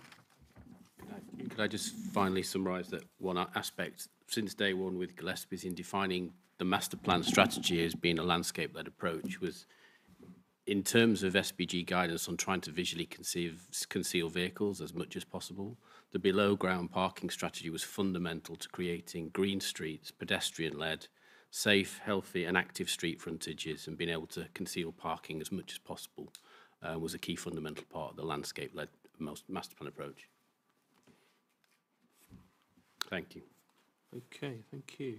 Are there any questions from your own side? No, I think uh, if it's okay with you, so we uh, can well, either roll straight into TVIA or we can uh, pause for questions from the master planning and architectural team. I think given the time, quarter to one, it'd probably be best if we take questions and the, the TVIA, I suspect, is going to be uh, a bit more involved and need, needs a bit of time. So if we, if we do the questions on what, what we've heard so far, uh, then we'll take the lunch break and uh, we'll start the TVI at uh, two o'clock. So um, let me just uh, turn to the planning authority then in terms of what you've heard from uh, the three witnesses, uh, one online and two gentlemen here. Would you like to say? Um, in terms of questions, I don't have any questions based on the, the information that's been provided in the presentations. Okay. Tracy, have any questions? Yeah. Okay, well, I'm going to go to, uh, so we, No, I'll. okay, uh, Mr Young. Uh, I, I listened carefully. I think uh, I can see the. Um, I was impressed with the words "leap of faith," as it were. Is that the intention in this application is to, with this outline approach, is to there's a leap of faith that we will actually achieve uh, what was mentioned, i.e., um, these green, the mix of the, the balance, the green spaces, the um, pedestrian priority, and so on. All of that, I think, does come across in the SPG, or at least in, and I workshop, so I intended people that. But I think what the question in my mind is the relative balance between the um, degree of massing of buildings, particularly building heights, and the spaces in between them, particularly in the residential area. And I think I picked up a comment. I think one of the um, one of the presentations said is that the they drew upon drew upon um, drew upon uh, measurements are based on existing St Helier existing St Helier. And um, what puzzled me is that, generally speaking, I think you, in the streets of St Helier, one doesn't see um, building heights of that sort of level generally, of up to eight stories. And I think the one, the key thing for me is the relationship between the width of the, what is the road in town, but here will be a pedestrian walkway, and, and the heights of buildings. Uh, at the moment, when you walk around St Helier, you get a feeling of being able to see the sky. And my question is, is that what analysis was done of, of you know, what would be, what we, um, what we create then in those wet network of spe- uh, streets uh, with what looked to me a very, very different equation with very tall buildings and very narrow, what, you know, streets, street, um, streets um, widths based on current St Helier. Because, the, you know, what I would worry about is two things. First of all, the amount of sunlight that people would get at normal times, normal, uh, normal conditions, I say summer conditions, probably. Obviously, in winter, it's very different. Uh, and also the wind tunnel effect, because this is a very, very exposed site. Uh, exposed to southwesterly gales in the winter time, it is known to be a problem. And of course, um, whilst we all want to see vegetation and natural growth, uh, I, I would certainly would be looking for find out what the information is about the, the landscaping planting that's going to be possible in such a um, what is basically a hostile environment with wind and salt-laden wind uh, and so on. I'd like to hear that. And so the, uh, where that all leads to is whether or not the balance, which I think the word was spoken of, whether the balance between um, development uh, and, and open space is right, or whether it should be shifted more towards a greater degree of open space. Uh, Obviously, I'm not got into the numbers, I couldn't follow that, but I think as a principle, I, I, I, I get, looking at that video we saw earlier, um, it kind of looked a bit horrific to me. Um, that was the impression that I got.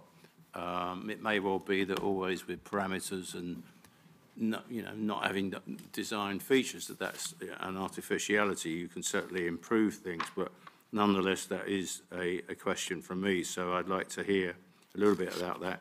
I was a little bit, I've always raised this question about the arts and community.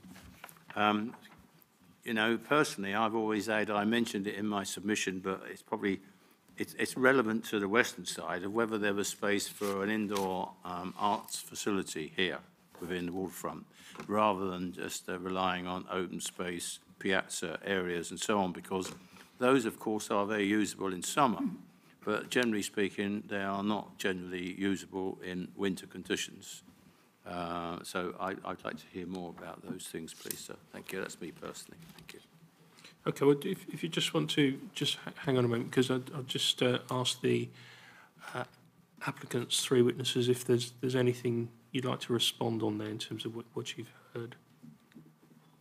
And if Patrick... I wonder if we could get Patrick back on Teams, please, for... Um, we, we- we might need to uh, break down uh, Mr. Young's points into a series of questions so that we can follow. Uh, Sure. There was, there were, there was quite a lot there, some of which uh, relates to matters which are later in the week, but um, it, uh, apologies, I'm not the, I'm not the witness. Um, I, I heard the first question about street widths and the um, approach taken by the project team. I wonder if uh, Patrick might run us through the work done and the approach on that, if, if that was where you wanted to go first. Well, I, I, I was just uh, giving you an opportunity to respond. I mean, the, the points I uh, picked up from what Mr. Young was saying was he, he focused on, uh, latched onto that term leap of faith. And uh, he, he did mention about um, this issue around the relative width of uh, roads and heights of buildings. And he said that as you walk around St Helier, uh, one of the, his observations is you get to see the sky. And uh, I think his question was, uh, are you going to be able to see the sky with this type of de- de- development as you, as you wander around it? Uh, I think, am I putting words into your mouth? No, no, it's the, it's the feel, it's the feel for it, because that's what this part, I think, is about. Landscaping is about trying to achieve a character. And I think it's a car-free environment, I get that point, having more planting, that's great. That was one of my questions, whether you can actually get stuff to grow, because we see lovely trees, but generally lovely trees in Jersey take about at least 12, 15, maybe 20 years to come. Um, but it's, it's, it's that impression created by the relative street width, or at least the walkway width, and the height size of the buildings that are either side of them. And I suppose related to that is the, not just the look at the sky and the feel, but also the amount of sunlight that people can access within those spaces, particularly um, in the, perhaps in the winter and spring when we've got a sh- much shorter day length. There's a, there's a lot of overlaps with other Yeah, I'm sections sure. that we're, I'll- we're going to... I'll leave it to you to shape that, well, take it where you want it to go. Let Mr. this- Mr. Conn come back. Any, any sort of reactions you, responses you'd like to make to uh, Mr. Young on that? Yeah, sure. Um, I mean, I think in terms of this kind of analysis of town grain and how that's related to the massing, um, where that's really come through, I think, is in in defining the kind of length of of block facades and also in looking at the the kind of push and pull within the massing. So we're very conscious that you know we're not create we're not recreating um, old St Helier town centre here. This is a new uh, a new character area for the, the town centre. It's a different kind of modern modern character.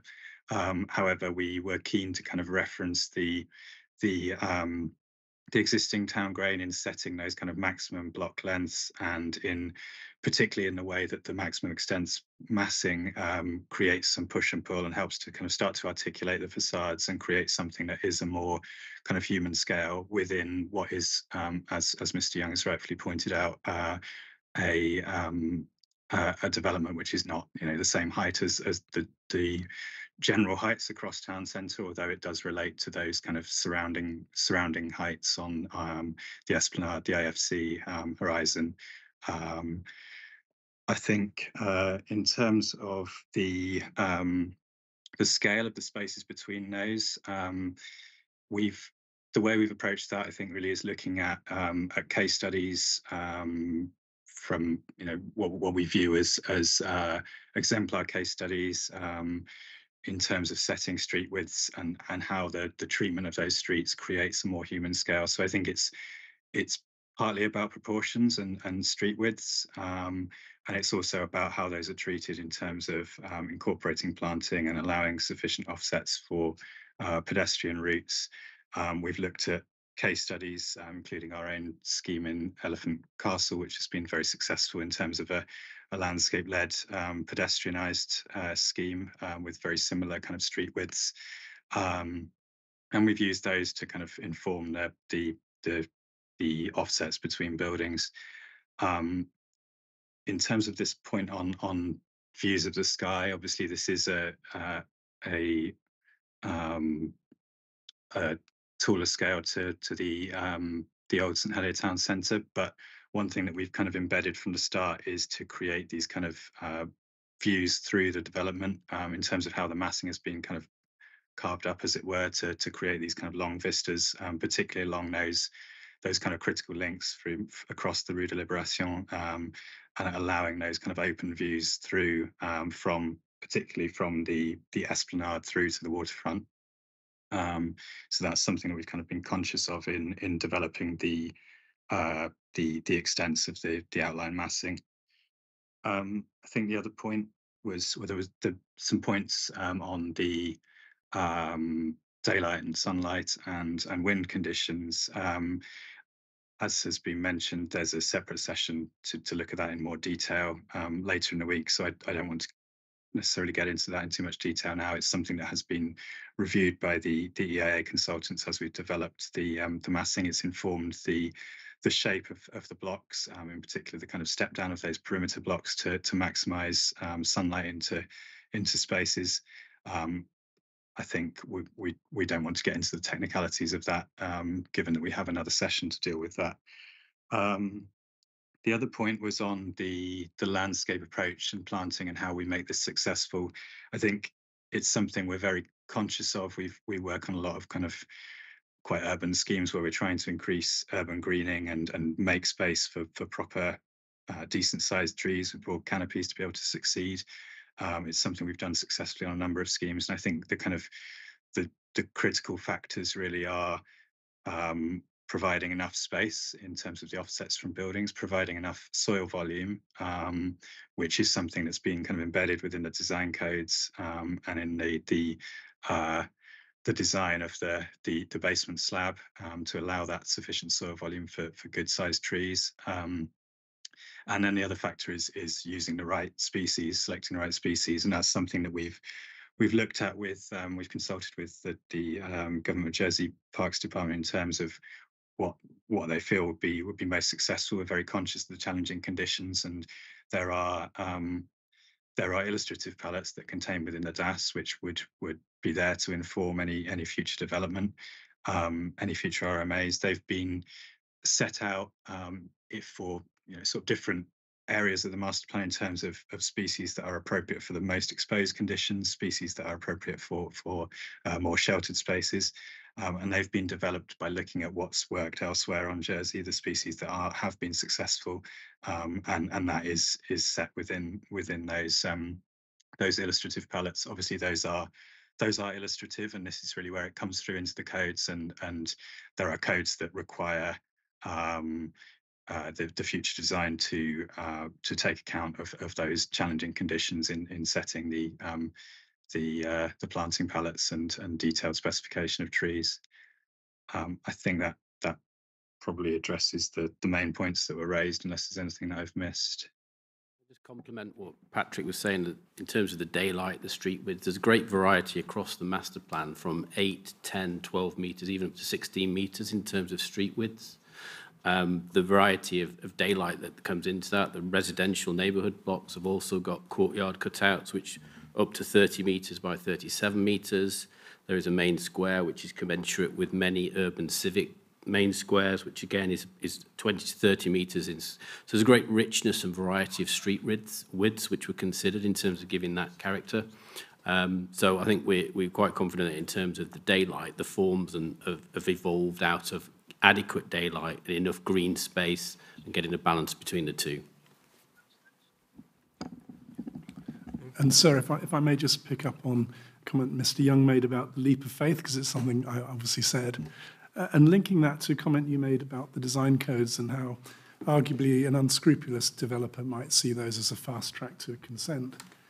Um, equally, an unscrupulous development might uh, see sort of glib design codes as a as a as a passport to saving money on buildings. And I think the the point is, uh, and what I think is really really important is the quality and effort that have gone into the design codes simply underpin JDC's ambition to de deliver really quality, high quality buildings and spaces.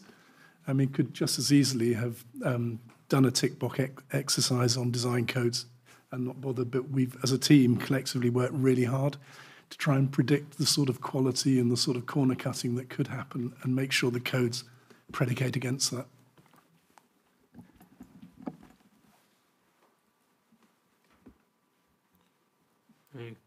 Okay. Uh, Mr. Thank you. Thank you. Can I just say thank you for those comprehensive answers? Uh, It just raises two points that I could be very brief if I could just highlight. Um, second, on the second one, obviously I'd like to be assured, because obviously one has seen over many years that design codes are all very thorough and detailed, but unfortunately that when it comes to the actuality, they often don't get implemented. I think it goes back to this point about what is being approved and what is illustrative. And so I think it, because otherwise, you know, I've seen over many years, um, planning officers are often put under pressure to, um, to agree um, variations to uh, uh, approvals and so on, and set aside conditions, you know, uh, you know, which- don't meet those uh, sort of codes and standards. Because if we're, re- if we're relying heavily on those codes, I, I would like to be more confident that they are really going to bite and not just be, um, you know, um, set aside or treated as if they're not fundamental parts of the consent. And the other point is that I obviously I picked up, and I stand corrected, that what we're not looking at here is a, um, a character area that reflects, and He- Helier is the same, but it's a new character area. But I picked up the model of the elephant and castle scheme that was spoken of. Would it be possible to see a picture, a visual of that example, if that's the model of what we are going to have? Uh, on, on Teams, we have uh, George, who will be able to uh, pull up the images, which are in the design and access statement. It's probably, uh, if George, if George is there, uh, I'm, I'm happy if, he, if he's not there, he can see it later, but uh, it's just something that I think might be George interesting. Find, whilst George finds those, if I could respond on this on the first the first issue of uh, design codes, and the context of the question was about watering things down. You know, are we going to get those uh, the, the, the points which have been expressly included in the codes? Right. Outline is uh, the first part of a two-phase consenting pro- process.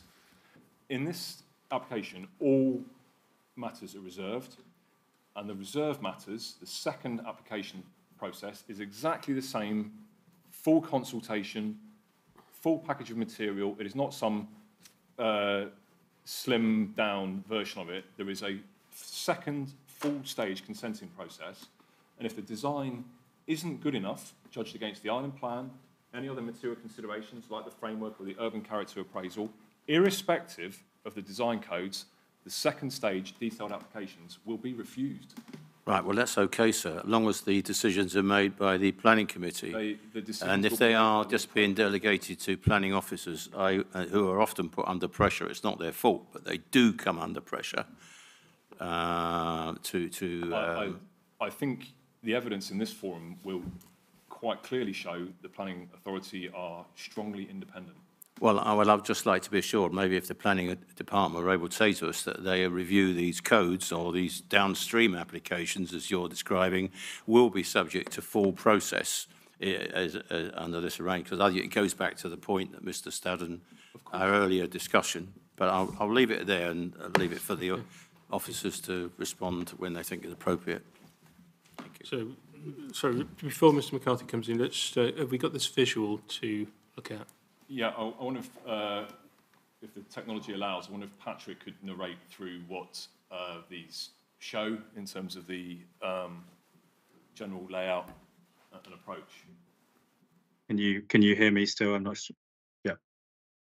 Can you can you hear me? I'm not sure if I'm on audio. I can hear you, Patrick. I don't think I don't think they can hear me. Can can you they probably I can, can hear hear- you. I can hear you, Patrick, but I don't think they can.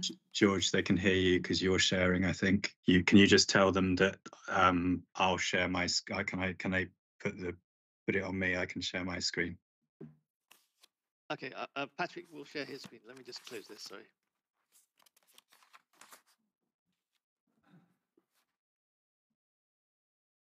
Can you hear me now in the room? We can. Yes. Sorry, I don't think you can hear me while George is sharing uh, for some reason.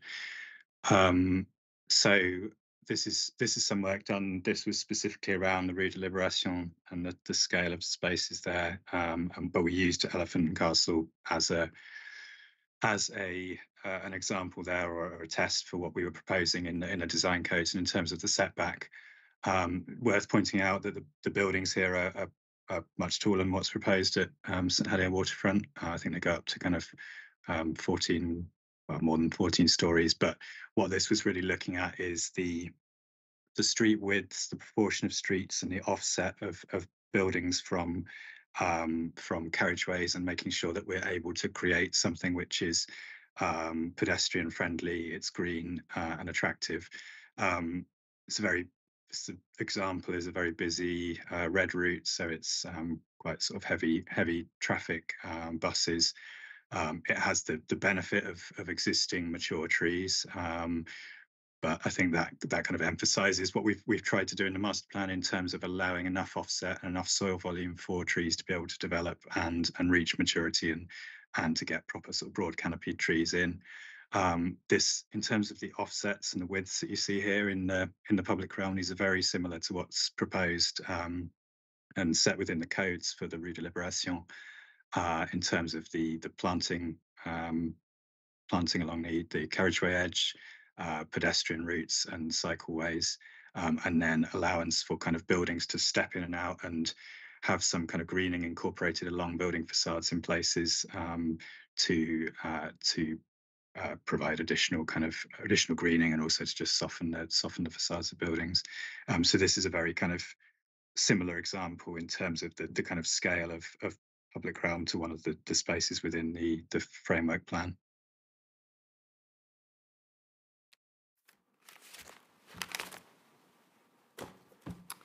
Okay. Uh, question from Mr McCarthy. Sorry.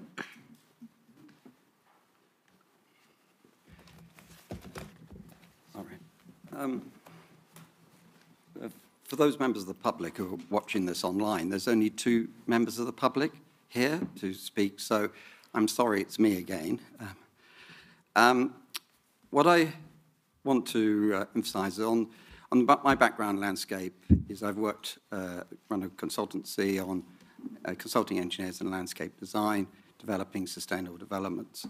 And landscape, of course, is a huge, important part of any development. However, um, what is important is that it was said it was a landscape-led design. Well, it should be a people, a family, a children-led design. And Jersey is already one of the most beautiful natural landscapes in the world. And there's a lot of experts on the island, and it's easy for us to deliver a, uh, a, a, landscape of uh, huge amount of complexity. Um, and, but what is also important is where are the allotments? Um, where can people grow and pick and eat their own vegetables? Where are the community gardens? So these things, one of the things that is missing from this planning application is a clear difference between the green space that's shown, that is publicly accessible anytime, any day of the week, and which are partially, you're allowed there maybe between certain hours, and areas the public are not allowed, ever. Also, I'd like to make it clear that some of the roof gardens are shown as green, um, but looking at the heights of the buildings and single staircases for fire escape, I don't think they're usable under the codes.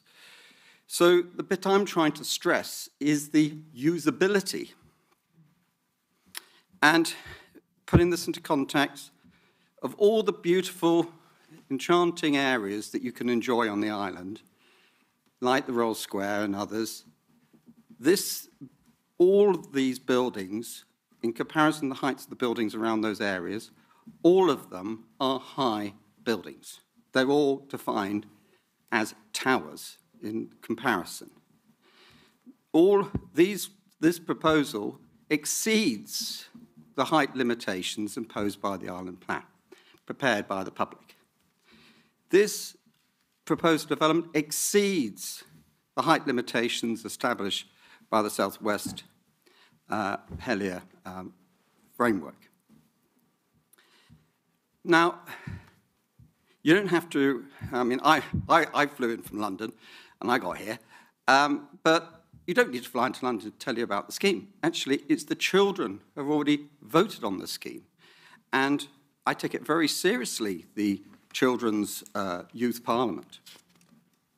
They've rejected it. So they said it doesn't consider play areas, uh, uh, use by children, etc. So they've rejected it. But they're not here today, sadly, because they're at school. But this is another part. So I have to speak on their behalf of what they've written. They, they are attending. uh, Oh, good. in the week. But, but the landscape is what they were, they particularly criticised and rejected. But they're not here today for you to explain why they're wrong. But I certainly support what they're saying. The fundamental aspect is we've got to go back in history. Jersey and St Helier was a seaside town. Very popular. My, my grandparents, both of them, uh, sides, uh, came to live in Ireland because it was a seaside town. And they lived in St Helier because it was great, great fun, and it was on, you're on the beach.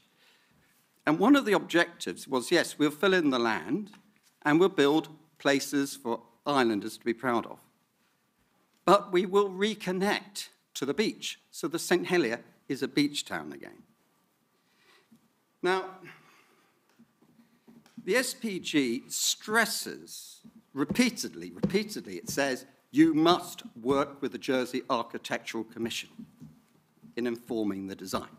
Now, working with somebody isn't like, yeah, I heard you, but I'm not going to listen to you. I heard you, I'm not going to listen to you. That is not listening to the Jersey Architectural Commission. And the first report they wrote when they first saw this scheme, led by and chaired by David Pritchard, who is one of the world's best urban designers, understands landscape, but most important of all, understands people. When he was invited to the workshop done, uh, led by Rob de Hamel, he stressed this is not a master plan. This is a homegrown solution responding to islanders' needs. It will come out from the islanders. And he's repeated that in his first very review by the Jersey And Mike Waddington should know this because he was on the Jersey Architectural Commission review, but now he's working for the applicant. Some people call that revolving doors. But David Pritchard, um, when we actually look at uh, the connectivity, we've got, this is a, say, this is for 3,000 people. It is, um, and then if you, can, what should be happening is the, uh, the, the Elizabeth uh, Marina should, uh, uh, port should be ready for more housing, 1,000 homes. So maybe 6,000 people. That's what should be being doing. And it's how do you connect? Well, if you look at this motorway, you know, for 100,000 people, this, this motorway, I call it motorway, because it's designed as a motorway. It's got big lamps. It's all civil engineering work. We call a project by big boys with big toys. This is a small little town. I mean, the importance is to downgrade it. Now, I don't know any of you have been to the Strand. The Strand has more traffic than, than this road, but it's designed for people to cross, for activity, for shops, not a 40 mile an hour motorway. And this is one of the most important statements made by uh, uh, David Pritchard. Reduce the speed limit, calm the whole thing down. It's noise. It is a, it is a scar across uh, St. Helier. So, yeah, you don't really care because to be quite honest, the scheme I'm looking at could be built anywhere in the world. It doesn't really matter. It doesn't really relate to St. Helier. But what it is, as far as landscape's concerned, is green lipstick on a gorilla. What do I mean by a gorilla? I like gorillas, but what I'm trying to get across is then we move into the spaces. Now, I'm trying now to focus on not a drawing that says, oh, lots of green, very green. Usable space. I also know, and if the, green, if the green space is not used, it comes a dog toilet, and then the next thing is a developer pops up and they build on it, as they already have done uh, around La Collette, the back of La Collette. So what is terribly important is that The space, the green space, is the only protection that green space is it is utilised. This most important thing, and if you go to any successful Victorian uh, beach town, they're right on the water edge, right up against the water edge. So when the wind picks up and the, and the rains, you can immediately retract into the cafe area where you're still seeing the sea. And then you creep out again. This is terribly important. You, you don't want to you know, take your kids there. Is it going to rain? Is it going to? Well, yeah, you go there for the day. So building a park that separates is just another barrier you've just created. Now, this park. Mr McCarthy, I'm going to need to break Right, for lunch okay. soon. But this park, when we do this park, is a swamp. It is below sea level. You can't see the sea. So when you're sitting in there with the wind coming over, which you'll get turbulence because it breaks over like a wave, you, it- all your paper will fly everywhere, you can't see where the wind's coming from. That is terribly important when you're uh, dealing with the issue of comfort and, and wind. The, the, the other aspect, I'm just going to focus on one element. One element is the health and well-being of space and the activity. And swimming is hugely important. You have a fabulous swimming pool today. We have one. Yes, it could be uh, cleaned up and tarted up, fine. But it is sees the sun from sunrise to sunset. So we want everybody swimming. Now, this is the Lido that will be used all year round, I hope. And what is terribly important about a swimming pool, it sees the sun from sunrise to sunset. This swimming pool will not see sunlight at any time of the year until fully, that means the whole swimming pool and the bathing area, until late afternoon at the earliest. Now, the other dangerous aspect about the swimming pool is having sunlight that casts half the swimming pools in shadow, the others in bright sunlight. If you ever speak to a beach guard who's maintaining the safety of children in a swimming pool, this is an extremely dangerous pool for children because their eyes can't see the child in the, the, the because their eyes constantly trying to deal with the difference of the reflected light from shadow to, to clear. And I will finalise on this most important thing about the Jersey Architectural Commission's review. I just can't believe this. The last review done by Jersey Architectural Commission on this scheme was not done by David Pritchard. I don't know what happened. It was done by Andy of Feilden Clegg, who just so happens to be employed by the applicant for the worst scheme up at South Hill that has been rejected once by our politicians. It has been rejected twice by elected politicians. So now the same client is taking action to appeal, take legal action against the public, using public money against the public. So you have to ask yourself, how come we've ended up a situation where we have a Jersey Architectural Commission that started off by saying, So this can, can is- I s- just clarify, the applicant is not taking any legal action in relation to South Hill against the government. The Well, it's an applicant appeal, an it's, a- it's, it's a legal Lodging process. appeal of- as- of- as it's entitled yes, to. uh, Yes, what I meant was that it is, in the sense, going to be judged, but it's not going to be judged by the public and their elected politicians. It's going to be judged by one person. And Oh, It's- Sorry, it will- it's it will be- ultimately going to be determined by an elected Okay, member. look, So- yes, yes, yes. I that thought this was a period Upon for, the for advice. questions for us uh, as well. We, we seem to be having. I didn't interrupt you. Are we having a period for questions? No, no, I haven't. I just, I'll stop. If you want me to stop, I'll stop. Uh, it's not my decision. No, but you've just stopped me. Well, Thank look, you. I, I think, Mr incorrect. McCarthy, just before you, you get up, you, you're, you're raising up, I would urge you to be a little cautious about some of the allegations you, you direct to, towards the, the applicant.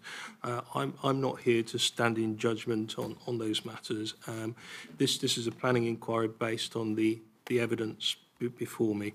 I think a lot of the points that you raise, they are going to come up in subsequent sessions, Yeah. particularly things around the, the pool, sunlighting, daylighting, so on and so forth. We, we, we will explore them. and I, I, my steer to you would please don't use every opportunity to uh, make a, a lengthy speech because we're now. No, no, no, under- Um, but I, I, I- I do want to say one thing.